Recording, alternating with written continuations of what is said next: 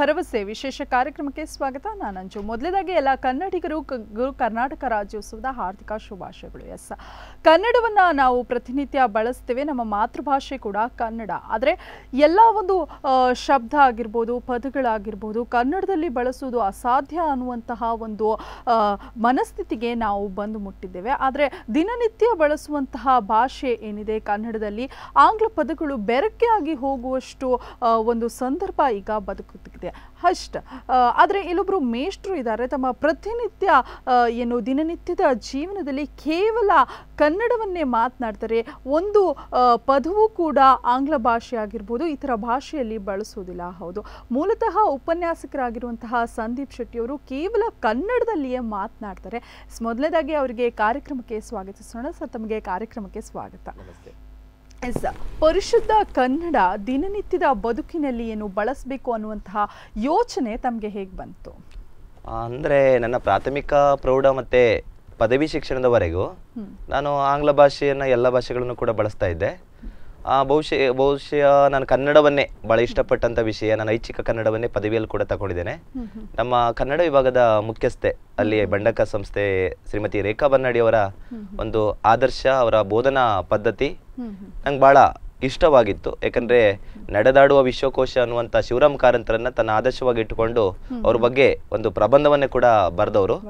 ಅವರು ತಮ್ಮ ಬೋಧನೆಯನ್ನು ಮಾಡ್ತಾ ಇರಬೇಕಾದ್ರೆ ಇವತ್ತು ಈ ಸರ್ವ ಆಂಗ್ಲಮಯವಾಗಿದೆ. ಇಂಥ ಪ್ರಪಂಚದಲ್ಲಿ ಕನ್ನಡವನ್ನ ಉಳಿಸ್ಕೊಳ್ಳೋದು ಬೆಳೆಸ್ಕೊಳ್ಳೋದು ಕೂಡ ಕಷ್ಟ ಆಗಿದೆ ನಿತ್ಯ ದಿನದಲ್ಲಿ ಅಂತ ಹೇಳಿದಾಗ ಬಹುಶಃ ನಾವು ಯಾಕೆ ಆ ಪ್ರಯತ್ನ ಮಾಡ್ಲಿಕ್ಕಾಗೋದಿಲ್ಲ.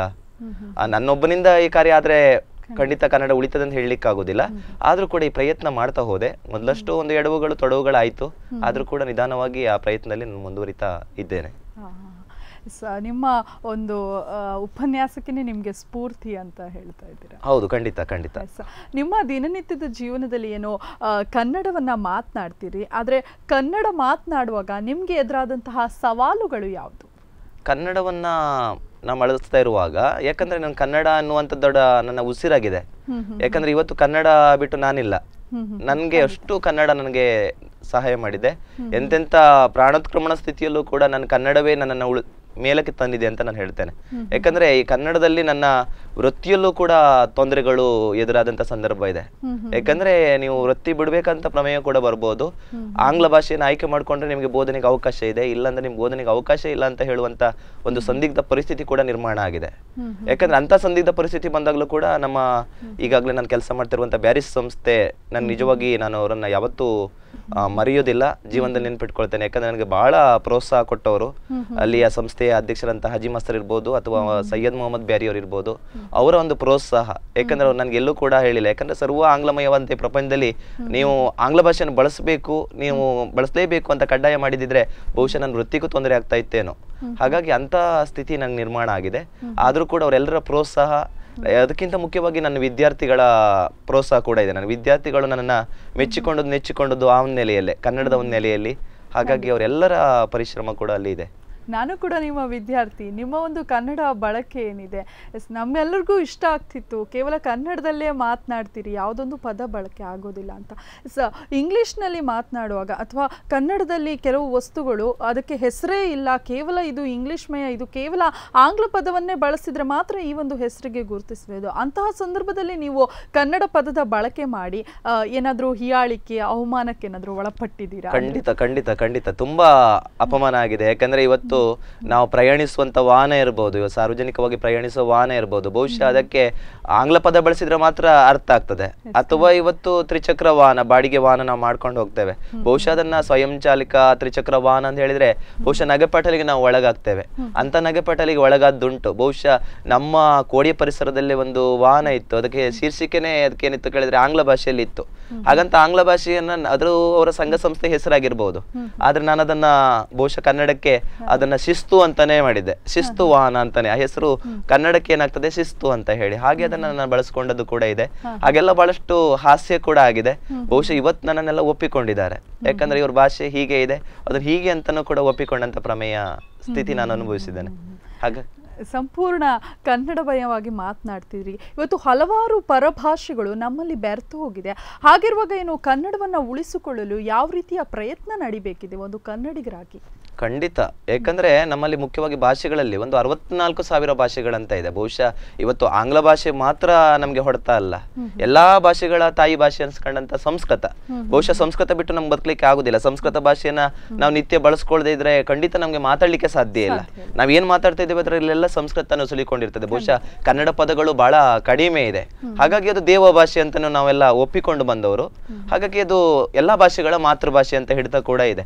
ಅಂಥದ್ರಲ್ಲಿ ಬಹುಶಃ ಅಚ್ಚ ಕನ್ನಡದಲ್ಲೇ ಬರೆದಂತ ಒಬ್ಬ ಕವಿ ಅಂಡಯ್ಯ ಅಂತ ಹೇಳಿ. ಕಬ್ಬಿಗರ ಕಾವ ಅಂತ ಒಂದು ಕಾವ್ಯವನ್ನ ಬರೆದಿದ್ದಾನೆ. ಅವನು ಪೂರ್ಣವಾಗಿ ಕನ್ನಡದ ಪದಗಳನ್ನೇ ಬಳಸ್ಕೊಂಡು ಒಂದು ಕಾವ್ಯವನ್ನ ಸೃಷ್ಟಿ ಮಾಡಿದ್ದಾನೆ.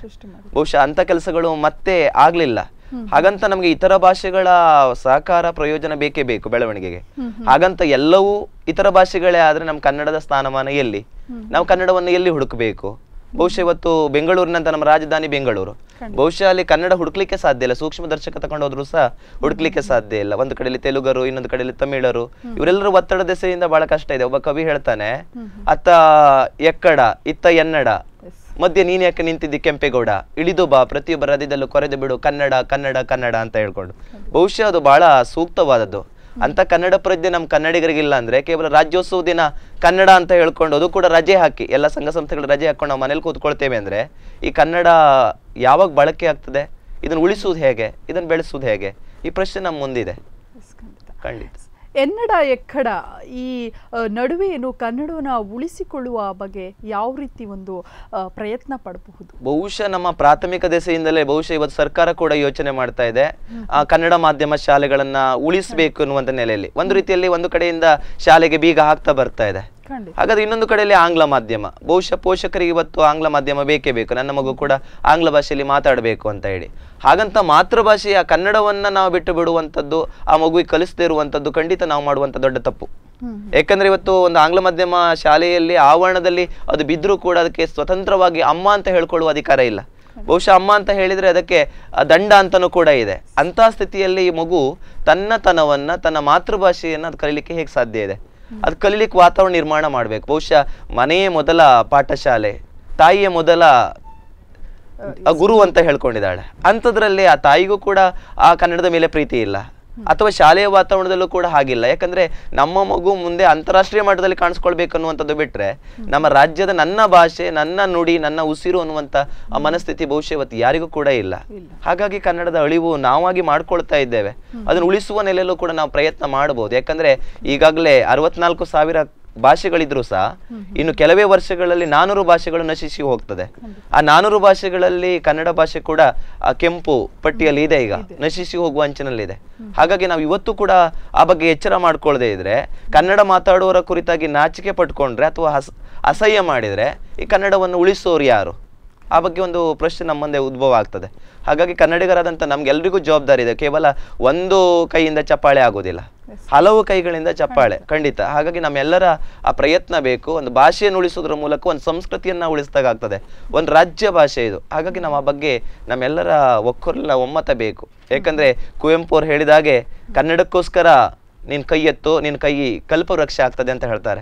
ಕನ್ನಡಕ್ಕಾಗಿ ಧ್ವನಿ ಎತ್ತು ನಿನ್ನ ಕೊರಳು ಪಾಂಚಜನ್ಯ ಆಗ್ತದೆ ಅಂತ ಹೇಳ್ತಾರೆ. ಹಾಗಾಗಿ ಇದೆಲ್ಲ ಕೇವಲ ಕೇಳಲಿಕ್ಕೆ ಮಾತ್ರ ಚಂದ ಅಲ್ಲ. ಇದನ್ನ ನಾವು ಆಡಿ ಮಾಡಿ ತೋರಿಸ್ಬೇಕಾದ ಜವಾಬ್ದಾರಿ ಪ್ರತಿಯೊಬ್ಬರ ಮೇಲೂ ಇದೆ. ಮತ್ತೆ ನಾವು ಕನ್ನಡವನ್ನು ಉಳಿಸೋದ್ರ ಮೂಲಕ ಶಾಲೆಗಳನ್ನು ಉಳಿಸ್ಬೋದು ಅದರ ಗುಣಮಟ್ಟವನ್ನ ಬೆಳೆಸ್ಬೋದು ಖಂಡಿತ. ಯಾಕಂದ್ರೆ ಸರ್ಕಾರ ಕೂಡ ಇವತ್ತು ನಾಯಿ ಕೊಡೆಯ ಹಾಗೆ ಅಣಬೆಗಳ ಹಾಗೆ ಇವತ್ತು ತಲೆ ಎತ್ತಿದೆ ಆಂಗ್ಲ ಮಾಧ್ಯಮ ಶಾಲೆಗಳು. ಇದು ಹೊಡೆತ ಆಗ್ತಾ ಇದೆ. ಅದೇ ನಿಜವಾಗಿ ಒಳ್ಳೆ ಗುಣಮಟ್ಟದ ರೀತಿಯಲ್ಲಿ ಕಲಿಸಿಕೊಟ್ಟರೆ ಶಾಲೆಯಲ್ಲಿ ಆಂಗ್ಲ ಮಾಧ್ಯಮ ಶಾಲೆಗಳನ್ನು ಉಳಿಸ್ಬೋದು. ಯಾಕಂದ್ರೆ ಸ್ಪರ್ಧಾತ್ಮಕವಾಗಿರಬೇಕು ಎರಡೂ ಕಡೆಯಲ್ಲೂ ಕೂಡ. ಯಾಕಂದ್ರೆ ಒಂದು ಕಡೆಯಲ್ಲಿ ತಕ್ಕಡಿ ಕೆಳಗೆ ಹೋಗಿದೆ ಇವತ್ತು. ಕನ್ನಡ ಮಾಧ್ಯಮ ಏನೂ ಇಲ್ಲ ಅಂತ ಆಗಿದೆ. ಹಾಗಾಗಿ ಯಾಕಂದ್ರೆ ಎಷ್ಟು ಜನ ಕನ್ನಡದಲ್ಲಿ ಸಾಧನೆ ಮಾಡಿದವರು ಇದ್ದಾರೆ ಅವರೆಲ್ಲ ನಮ್ಮ ಮುಂದೆ ಇದ್ದಾರೆ. ಅಂತ ಸಾಧನೆಗಳು ಇವತ್ತು ಕೂಡ ನಾವು ನೆನಪಿನಲ್ಲಿ ಇಟ್ಕೊಳ್ತೇವೆ. ಹಾಗಾದ್ರೆ ನಮಗೆ ಯಾಕೆ ಕನ್ನಡ ಬೇಡ ಅಂತ ಆಗಿದೆ ಇವತ್ತು? ನಿಜವಾಗಿ ನಮ್ಮ ವಿದ್ಯಾರ್ಥಿಗಳಲ್ಲೂ ಅಷ್ಟೇ ಕನ್ನಡ ಸಾಧನೆ ಇಲ್ಲ. ಕನ್ನಡದ ಬಗ್ಗೆ ಒಲವಿಲ್ಲ ಎಲ್ಲೋ ಕೇಳ್ತಾರೆ ಅಂತ ಹೇಳಿದರೆ ಅದು ಸುಮ್ಮನೆ ಮನೋರಂಜನೆ ಕೇಳ್ತಾರೆ ಅನ್ನುವ ರೀತಿಯಲ್ಲಿ. ಯಾಕಂದರೆ ಎಲ್ಲ ಒಂದು ಒತ್ತಡ ಇದೆ ಇದೊಂದು ಸ್ವಲ್ಪ ಮನೋರಂಜನೆ. ಈ ಮನೋಭಾವ ಇದೆ. ಬಹುಶಃ ನಮ್ಮ ಕಾಲ ಅಥವಾ ನಮಗೆ ಹಿಂದಿನ ಕಾಲದಲ್ಲಿ ಅದನ್ನೊಂದು ಅನುಭವಿಸುವ ಕಾಲ ಇತ್ತು. ಬಹುಶಃ ಇವತ್ತು ಅದನ್ನು ಅನುಭವಿಸುವ ಕಾಲ ಇಲ್ಲ. ಇಲ್ಲ. ಹಾಗಾಗಿ ಈ ಮಕ್ಕಳಲ್ಲೇ ಆ ಸ್ಥಿತಿಯನ್ನು ತರಬೇಕು ಒಂದು ಪ್ರೀತಿಯ ವಾತಾವರಣನ ಸೃಷ್ಟಿಸಿದರೆ ಕನ್ನಡ ಖಂಡಿತ ಉಳಿತದೆ. ಸ- ಕನ್ನಡ ಶಾಲೆಗಳು ಏನು ಬೀಗ ಹಾಕೋ ಪರಿಸ್ಥಿತಿಗೆ ಬಂದಿದೆ. ಕೇವಲ ಏನು ಇಂಗ್ಲಿಷ್ ಮೀಡಿಯಂ ಅಂತೀವಿ ಆಂಗ್ಲ ಮಾಧ್ಯಮ ಶಾಲೆಗಳು ತಲೆ ಎತ್ತದಾ ಇದೆ. ಆ ಒಂದು ಮಕ್ಕಳಲ್ಲಿ ಕನ್ನಡ ಏನು ಪಠ್ಯ ಆಗಿರ್ಬೋದು ಕನ್ನಡದ ಒಂದು ವಿಷಯ ಆಗಿರ್ಬೋದು ಕಬ್ಬಿಣದ ಕಡಲೆಯಾಗಿ ಮಾರ್ಪಟ್ಟಿದೆ. ನಮ್ಮ ಮಾತೃಭಾಷೆಗೆ ಇಂತಹ ಸ್ಥಿತಿ ಬಂದರೆ ನಿಜಕ್ಕೂ ಇದು ನಮ್ಮ ದೌರ್ಭಾಗ್ಯ ಅಂತ ಅನಿಸೋದಿಲ್ವಾ? ಖಂಡಿತ ಖಂಡಿತಕ್ಕೂ. ಯಾಕಂದ್ರೆ ಇವತ್ತು ಕನ್ನಡವೇ ಅವರಿಗೆ ಸಮಸ್ಯೆ. ಬಹುಶಃ ಆಂಗ್ಲದಲ್ಲಿ ನಿರರ್ಗಳವಾಗಿ ಮಾತಾಡುವಂತ ವಿದ್ಯಾರ್ಥಿಗಳನ್ನು ನಾನು ಕಂಡಿದ್ದೇನೆ. ಮತ್ತೆ ಬರೆಯುವ ರೀತಿಯಲ್ಲೂ ಕೂಡ ಬಹಳ ಮುಂದಿದ್ದಾರೆ. ಬಹುಶಃ ಈ ಕನ್ನಡ ವಿಷಯ ಬಂದಾಗ ಅವ್ರಿಗೆ ಬಹಳ ಕಷ್ಟ ಆಗ್ತದೆ. ಒಂದು ವೇಳೆ ಅಲ್ಲಿ ರಾಷ್ಟ್ರಭಾಷೆ ಆಯ್ಕೆ ಇರ್ತದೆ ನಮಗೆ ಮುಂದೆ ಪದವಿ ಪೂರ್ವ ಈ ಪದವಿ ಹಂತದಲ್ಲಿ ರಾಷ್ಟ್ರಭಾಷೆ ಮತ್ತೆ ಕನ್ನಡ. ಆಗ ರಾಷ್ಟ್ರಭಾಷೆಯಲ್ಲಿ ಯಾರಿಗೆ ಬರೀಲಿಕ್ಕೆ ಗೊತ್ತಿಲ್ಲ ಅವ್ರು ಕನ್ನಡ ತಗೊಳ್ತಾರೆ. ಕನ್ನಡ ಬರೀಲಿಕ್ಕೆ ಗೊತ್ತಿರ್ತದೆ ಅಂತಲ್ಲ ಅದು ಅರ್ಥ ಆಗ್ತದೆ ಅನ್ನುವಂಥ ಕಾರಣಕ್ಕೆ ತಗೊಳ್ತಾರೆ. ಹಾಗಾಗಿ ಬಹುಶಃ ಇಷ್ಟಪಟ್ಟು ತಕೊಳ್ಳೋದಿಲ್ಲ ಬಹುಶಃ ಕಷ್ಟದಿಂದ ತಕ್ಕೊಳ್ತಾರೆ ಅನಿವಾರ್ಯವಾಗಿ ತಕೊಳ್ತಾ ಇದ್ದಾರೆ. ಬಹಳ ಪ್ರೀತಿಯಿಂದ ಅದನ್ನು ಅನುಭವಿಸ್ತಾ ಇಲ್ಲ. ಯಾಕಂದ್ರೆ ಉತ್ತೀರ್ಣ ಆದ್ರೆ ಸಾಕು ಅನ್ನುವಂಥದ್ದು. ನಮ್ಮ ಶಿಕ್ಷಣದ ಧೋರಣೆ ಕೂಡ ಹಾಗೆ ಇದೆ. ಇವತ್ತು ಭಾಷೆಯನ್ನು ಹೊರತುಪಡಿಸಿ ಉಳಿದ ವಿಷಯಗಳನ್ನು ಮಾತ್ರ ಮುಖ್ಯವಾಗಿ ಇಟ್ಕೊಂಡಿದ್ದಾರೆ. ಹಾಗಾಗಿ ಒಟ್ಟು ಫಲಿತಾಂಶಕ್ಕೆ ಸಹಾಯ ಮಾಡ್ತದೆ ಬಿಟ್ರೆ ಮುಖ್ಯವಾಗಿ ಭಾಷೆ ಏನು ಆಗಿರುವುದಿಲ್ಲ. ಆ ನೆಲೆಯಲ್ಲಿ ಇವತ್ತು ಕಲಿತಾ ಇದ್ದಾರೆ ಬಹುಶಃ. ಅದರಿಂದಲೂ ಕೂಡ ನಮ್ಮ ಕನ್ನಡಕ್ಕೆ ಒಂದು ಹೊಡೆತ ಬೀಳ್ತಾ ಇದೆ ಅನಿಸ್ತದೆ ವಿದ್ಯಾರ್ಥಿ ದೆಸೆಯಿಂದ. ಕನ್ನಡದ ಬಗ್ಗೆ ಈ ನಿಟ್ಟಿನಲ್ಲಿ ಆಸಕ್ತಿ ಬೆಳೀಲಿಕ್ಕೆ ಕಾರಣ ಏನು ತಮ್ಮ? ಕನ್ನಡದ ಬಗ್ಗೆ ಯಾಕಂದ್ರೆ ಬಹುಶಃ ಆ, ಕನ್ನಡವೇ ನನಗೆ ಇವತ್ತು ಅನ್ನ ಕೊಡ್ತಾ ಇರೋದು ಅಂತ ನಾನು ಹೇಳ್ತೇನೆ. ಯಾಕಂದ್ರೆ ಕನ್ನಡ ಬಿಟ್ಟು ನನ್ಗೆ ಬದುಕಲಿಕ್ಕೆ ಕಷ್ಟ ಆಗ್ಬೋದು. ಇದು ಬಹಳಷ್ಟು ಜನರಿಗೆ ನಾವು ಯಾಕಂದ್ರೆ ಒಂದು ವಿಷಯದ ಒಳಕ್ಕೆ ನಾವು ಹೋದ್ರೆ ಅದನ್ನೇ ನಮಗೆ ಸರ್ವಸ್ವವಾಗಿ ತಗೊಂಡ್ರೆ ಮಾತ್ರ ನಮ್ಮ ಬದುಕಿದೆ. ಯಾಕಂದ್ರೆ ಇದಕ್ಕೆ ನನ್ಗೆ ಎಲ್ಲರೂ ಕೂಡ ಸಹಾಯ ಮಾಡ್ತಾ ಬರ್ತಾರೆ. ಮುಖ್ಯವಾಗಿ ನಾನು ಹೇಳಲಿಕ್ಕೆ ಹೋದ್ರೆ ನನ್ನ ಗುರು ಪರಂಪರೆ ಇರ್ಬೋದು. ಗುರು ಪರಂಪರೆಯವರ ಸಹಕಾರ ಇದೆ. ನನ್ನ ಸಹೋದ್ಯೋಗಿಗಳ ಸಹಕಾರ ಇದೆ. ಪ್ರಾಂಶುಪಾಲರು ಇರ್ಬೋದು ಆಡಳಿತ ಮಂಡಳಿ ಇರ್ಬೋದು. ನನ್ನ ವಿದ್ಯಾರ್ಥಿ ಸಮುದಾಯ ಇರ್ಬೋದು ಅವರನ್ನು ನನ್ನ ಗುರುತಿಸ್ಕೊಂಡಿದ್ದಿರ್ಬೋದು ನನ್ನ ಮನೆಯ ವಾತಾವರಣ ಇರ್ಬೋದು ನಮ್ಮ ಮನೆಯ ಸಹೋದರಿ ಇರ್ಬೋದು ತಂದೆ ತಾಯಿ ಇರ್ಬೋದು ಎಲ್ಲರೂ ಕೂಡ ನನ್ನ ಒಪ್ಪಿಕೊಂಡು ಬಂದಿದ್ದಾರೆ. ಮುಖ್ಯವಾಗಿ ನನ್ನ ಧರ್ಮಪತ್ನಿ. ಶ್ರೀಮತಿ ಅಮೃತ ಶೆಟ್ಟಿ. ಅವಳು ಕೂಡ ನನ್ನ ಒಪ್ಪಿಕೊಂಡು ಬಂದಿದ್ದಾಳೆ. ಮದುವೆಗಿಂತ ಮೊದಲಿಗಳಿಗೆ ಗೊತ್ತಿದೆ ನನ್ನ ಕನ್ನಡ ಭಾಷೆಯ ಬಗ್ಗೆ ಗೊತ್ತಿದೆ. ಆ ಒಂದು ಪ್ರೀತಿ ಕೂಡ ಅವಳಲ್ಲಿ ಇದೆ. ಯಾಕಂದ್ರೆ ಇವತ್ತು ಕೂಡ ನನ್ನ ಜೊತೆಲಿ ಮಾತಾಡುವಾಗ ಅವಳು ಕನ್ನಡವನ್ನೇ ಬಳಸಿ ಮಾತಾಡ್ತಾಳೆ. ಯಾಕಂದ್ರೆ ಅವಳು ಆಂಗ್ಲ ಬೋಧನೆಯನ್ನ ಮಾಡುವವಳು. ಕನ್ನಡಪಾಡಿಯಲ್ಲಿ ಆಂಗ್ಲ ಮಾಧ್ಯಮ ಶಿಕ್ಷಕಿಯಾಗಿದ್ದಾಳೆ. ಅದು ನನ್ನ ಜೊತೆಲಿ ಸಂಬೋಧಿಸುವಾಗ ಅವಳು ಕನ್ನಡವನ್ನು ಬಳಸ್ತಾಳೆ. ಯಾಕಂದ್ರೆ ಅದೊಂದು ವಿಚಾರ. ಬಹುಶಃ ಮಗಳು ಆ ವಿಷಯದಲ್ಲಿ ವಿಫಲಳಾಗ್ತಾಳೆ. ಯಾಕಂದ್ರೆ ಆಂಗ್ಲ ಮಾಧ್ಯಮ ಅಂತ ಹೇಳ್ಕೊಂಡು ಕೂಡಲೇ ಅವಳ ಭಾಷೆ ಬೇರೆ ಇದೆ. ನನ್ನ ಕನ್ನಡ ಅವಳಿಗೆ ಅರ್ಥ ಆಗದೆ ಇರಬಹುದು ಇರಲಿ ಅರ್ಥ ಆಗದೆ ಇರೋ ನಿಧಾನ ಅರ್ಥ ಆಗ್ತದೆ. ಆದ್ರೆ ಈ ಬಳಕೆ ಎನ್ನುವಂಥದ್ದು ಆಗ್ಬೇಕು. ಯಾಕಂದ್ರೆ ಅದು ಸಮಷ್ಟಿ ದೃಷ್ಟಿಯಲ್ಲಿ ಆಗ್ಬೇಕು. ಖಂಡಿತ ಆ ಕನ್ನಡದ ಉಳಿವಿಗೋಸ್ಕರ ನಾವು ಪ್ರಯತ್ನ ಮಾಡಬೇಕು ಅನ್ನುವಂಥ ಛಲ ಇರ್ಬೇಕು ನಮ್ಗೆ. ಇದು ಸ್ಫೂರ್ತಿ ಅಂತ ಹೇಳ್ತೇನೆ. ಬಹುಶಃ ವಿದ್ಯಾರ್ಥಿಗಳು ಕೂಡ ನನ್ನ ಜೊತೆಲಿ ಮಾತಾಡಬೇಕಾದ್ರೆ ಕನ್ನಡದಲ್ಲಿ ಬಳಸ್ತಾರೆ. ಈಗ ಆಚೆಗೆ ಒಬ್ಬರು ಆಂಗ್ಲ ಭಾಷೆಯಲ್ಲಿ ಹೋದ್ರೆ ಆಂಗ್ಲ ಭಾಷೆಯಲ್ಲಿ ಅವ್ರಿಗೆ ಗೌರವಿಸ್ತಾರೆ. ಅದೇ ನನ್ನ ಪಕ್ಕಕ್ಕೆ ಬಂದ್ರೆ ನನ್ನ ಕಣ್ಕೊಳ್ಳೆ ಶುಭೋದಯ ಅಂತ ಹೇಳ್ತಾರೆ ಅಥವಾ ಶುಭ ಸಂಜೆ ಅಂತ ಹೇಳ್ತಾರೆ. ಹಾಗಾದ್ರೆ ಕನ್ನಡವನ್ನ ಅವರು ಗುರುತಿಸ್ತಾರೆ ಅಂತ ನಂಗೆ ಅನಿಸ್ತದೆ. ಆ ನೆಲೆಯಲ್ಲಿ ಖಂಡಿತ ಇದು ನನ್ನೊಬ್ಬನ ನೆಲೆಯಲ್ಲಿ ಅಂತ ನಾನು ಹೇಳೋದಿಲ್ಲ ರಾಜ್ಯದ ನೆಲೆಯಲ್ಲಿ ಆಗಬೇಕು ಆ ಒಂದು ಪ್ರಯತ್ನ ಆಗಬೇಕು. ಬಹುಶಃ ಇದು ಹಾಸ್ಯ ಅಂತ ಹೇಳೋದಲ್ಲ ಕನ್ನಡ ನಮ್ಗೇನ್ ಮಾಡಿದೆ ಅಲ್ಲ. ಕನ್ನಡಕ್ಕೆ ನಾವು ಏನು ಕೊಟ್ಟಿದ್ದೇವೆ ಅಂತ ಪ್ರಶ್ನೆ ಬರ್ತದೆ. ಖಂಡಿತ ಕನ್ನಡಕ್ಕೆ ನಾವು ಏನು ಕೊಡಲಿಕ್ಕೂ ಸಾಧ್ಯ ಇಲ್ಲ. ನಾವು ಕೊಟ್ಟಿದ್ದು ಕೇವಲ ಸಮುದ್ರ, ಕನ್ನಡ ಅಂತ ಹೇಳಿದ್ರೆ ಒಂದು ಸಾಗರ ಇದ್ದ ಹಾಗೆ. ಸಾಗರದಿಂದ ತರುವುದು ನಾವು ಕೇವಲ ಒಂದು ಎಷ್ಟು ಸಣ್ಣ ಪಾತ್ರೆ ತಗೊಂಡು ಹೋಗ್ತೇವೆ, ಅಷ್ಟನ್ನು ಮಾತ್ರ ನೀರು ತಕೊಂಡು ಬರ್ಬೋದು. ಹಾಗಾಗಿ ಕನ್ನಡಕ್ಕೆ ನಾವು ಕೊಡುವಂಥ ಸೇವೆ ಕೂಡ ಭಾಳ ಸಣ್ಣದು. ಖಂಡಿತ ನಾವು ಹೆಚ್ಚಿನ ಸೇವೆಯನ್ನು ಕನ್ನಡದ ನೆಲೆಯಲ್ಲಿ ಕೊಡ್ಬೋದು. ಯಾಕಂದರೆ ನಾವು ತಿನ್ನುವ ಆಹಾರ ಈ ಕನ್ನಡದ್ದು, ಬೀಸುವ ಅನುಭವಿಸುವಂಥ ಗಾಳಿ ಏನಿದೆ ಕನ್ನಡದ್ದು, ಹಾಗಾಗಿ ನಮ್ಮ ಈ ಭೂಮಿ ತಾಯಿ ಕರ್ನಾಟಕ ಏನಿದೆ ಕನ್ನಡ, ಹಾಗಾಗಿ ಕನ್ನಡದ ನೆಲೆಯಲ್ಲಿ ಪ್ರಯತ್ನ ಮಾಡಬೇಕು. ಕೇವಲ ರಾಜ್ಯೋತ್ಸವದ ಕೂಗಾಗಬಾರ್ದು ಇದು ಇದು ರಾಜ್ಯೋತ್ಸವದ ಧ್ವನಿ ಆಗಬಾರ್ದು ಅಂತ ನನ್ನ ಭಾವನೆ. ರಾಜ್ಯೋತ್ಸವದ ಧ್ವನಿ ಅನ್ನುವಾಗ ನೆನಪಾಯಿತು. ಕನ್ನಡ ಉಳಿಸಬೇಕು ನಿಟ್ಟಿನಲ್ಲಿ ಪ್ರತಿಭಟನೆಗಳಾಗ್ತದೆ, ಹೋರಾಟಗಳಾಗ್ತದೆ, ರಾಜಕೀಯ ಪ್ರವೇಶ ಮಾಡ್ತದೆ. ಏನು ಆಂಗ್ಲ ಮಾಧ್ಯಮ ಶಾಲೆಗಳು ಮುಚ್ಚಬೇಕು, ಕನ್ನಡ ಶಾಲೆಗಳೇ ಕೇವಲ ತೆರಿಬೇಕು ಅನ್ನುವಂತಹ ಪ್ರಯತ್ನಗಳು ಸಾಕಷ್ಟು ಜನರು ಮಾಡ್ತಾರೆ. ಇದೆಲ್ಲ ಒಂದು ರೀತಿಯ ಪ್ರತಿಭಟನೆ ಆದರೆ, ನಿಮ್ಮದೊಂದು ಕನ್ನಡ ಉಳಿಸುವಂತಹ ನಿಟ್ಟಿನಲ್ಲಿ ಒಂದು ವಿಶಿಷ್ಟವಾದಂತಹ ರೀತಿ ಅಂತ ಹೇಳ್ಬೋದು. ಯಾರಿಗೂ ಕೂಡ ಉಪದೇಶ ಮಾಡದೆ ನಿಮ್ಮಷ್ಟಕ್ಕೆ ನೀವು ಕನ್ನಡವನ್ನು ಬಳಸ್ತಾ ಇದ್ದೀರಿ. ಈ ಬಗ್ಗೆ ಏನು ಹೇಳ್ತೀರಾ? ಅಷ್ಟು ದೊಡ್ಡ ಹೋರಾಟಗಾರ ನಾನಲ್ಲ. ಬಹುಶಃ ಕನ್ನಡ ಹೋರಾಟಗಾರರಲ್ಲೇ ಇದ್ದಾರೆ. ಸಂಘಟಕರು ಬಹಳಷ್ಟು ನೀವು ಬೆಂಗಳೂರಿನಲ್ಲಿ ನೋಡ್ಬೋದು. ಬಹುಶಃ ಇಂಥ ಕಡೆಯಲ್ಲಿ ನಾವು ಇಂಥದ್ದು ಮಾಡ್ತೇವೆ. ನೀವೆಲ್ಲ ಮಾಧ್ಯಮದವರೆಲ್ಲ ಬಂದು ಇರಬೇಕು ಅಂತ ಹೇಳಿ ರಸ್ತೆಯಲ್ಲಿ ಮಲ್ಕೊಂಡು ಇಂಥ ಸಾಧನೆ ಎಲ್ಲ ಮಾಡಿದವರು ಇದ್ದಾರೆ. ಬಹುಶಃ ಆ ಮಟ್ಟಕ್ಕೆ ಹೋದ್ರೆ ಖಂಡಿತ ಯಾವ ಕೆಲಸವೂ ಆಗ್ಲಿಕ್ಕಿಲ್ಲ. ಆದ್ರೆ ನಾವು ಮಾಡುವಂಥ ನೆಲೆ ಎನ್ನುವಂಥದ್ದು ಇನ್ನೊಬ್ಬರಿಗೆ ಮಾದರಿಯಾಗಿರಬೇಕು. ಏನೋ ಒಂದು ಆಗ್ತಾ ಇದೆ. ಏನೋ ಒಂದು ಮಾಡ್ಲಿಕ್ಕೆ ಸಾಧ್ಯ ಇದೆ ಎನ್ನುವುದನ್ನು ನಾವು ಖಂಡಿತ ಮಾಡ್ಬೋದು. ಹೀಗೆ ಮಾಡಿ ತೋರಿಸಿದರೆ ನಮ್ಮನ್ನು ಅನುಕರಿಸೋರು ಒಂದಷ್ಟು ಜನ ಇರ್ತಾರೆ. ಈಗ ಸರ್ವ ಕನ್ನಡಮಯ್ಯ ಅಂತ ನಾನು ಹೇಳೋದಿಲ್ಲ ಬಹುಶಃ ಆಂಗ್ಲ ಮಾಧ್ಯಮಕ್ಕೆ ನಾನು ವಿರೋಧಿ ಅಲ್ಲ. ಆಂಗ್ಲ ಭಾಷೆಗೆ ನಾನು ವಿರೋಧಿ ಅಲ್ಲ. ಅಥವಾ ಆಂಗ್ಲ ಭಾಷೆಯನ್ನು ಮಾತಾಡೋರಿಗೆ ನಾನು ವಿರೋಧಿ ಅಲ್ಲ. ನನ್ನ ತತ್ವಗಳು ಅಥವಾ ನನ್ನ ಭಾಷೆಯ ಬಗ್ಗೆ ನನಗೆ ಪ್ರೀತಿ ಜಾಸ್ತಿ. ಇತರ ಪ್ರೀತಿಗಳನ್ನ ಭಾಷೆಗಳನ್ನ ನಾನು ಪ್ರೀತಿಸ್ತೇನೆ. ನನ್ನ ಭಾಷೆಯನ್ನು ನಾನು ಅತಿಯಾಗಿ ಪ್ರೀತಿಸ್ತೇನೆ. ಬಹಳ ಗೌರವಿಸ್ತೇನೆ. ಹಾಗಾಗಿ ಇತರ ಭಾಷೆಗಳ ದ್ವೇಷಿಯನ್ನು ನಾನಲ್ಲ.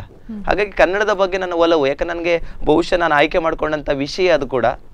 ಹಾಗಾಗಿ ನನಗದು ಬಹಳ ಸ್ಫೂರ್ತಿಯಾಗಿದೆ. ಆ ಇಲ್ಲಿ ತಗೊಳ್ಳಿಕ್ಕೆ ಒಂದು ಒಳ್ಳೆ ವೇದಿಕೆ ಆಗಿದೆ. ಅವಕಾಶಗಳು ಸಿಕ್ಕಿದೆ. ಆ ಸ್ಪರ್ಧೆಗಳಲ್ಲೂ ಕೂಡ ನಾನು ಇದು ಮಾಡಿದ್ದೇನೆ. ಯಾಕಂದ್ರೆ ಒಂದು ಉದ್ಯೋಗವನ್ನು ಕಳ್ಕೊಳ್ಳುವ ಸ್ಥಿತಿಯಲ್ಲೂ ಕೂಡ ಒಂದು ಪ್ರಮೇಯ ಬಂತು.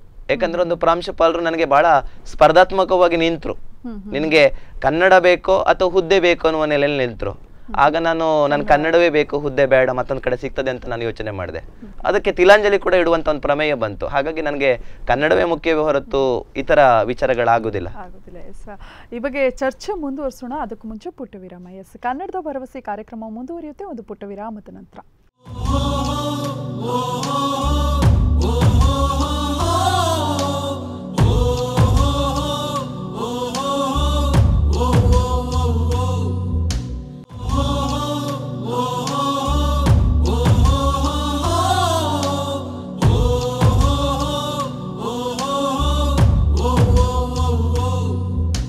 ಕನ್ನಡದ ಭರವಸೆ ವಿಶೇಷ ಕಾರ್ಯಕ್ರಮಕ್ಕೆ ಮತ್ತೊಮ್ಮೆ ಸ್ವಾಗತ. ಎಸ್, ನಮ್ಮ ಜೊತೆ ಸಂದೀಪ್ ಕುಮಾರ್ ಶೆಟ್ಟಿ ಅವರು ಇದ್ರು.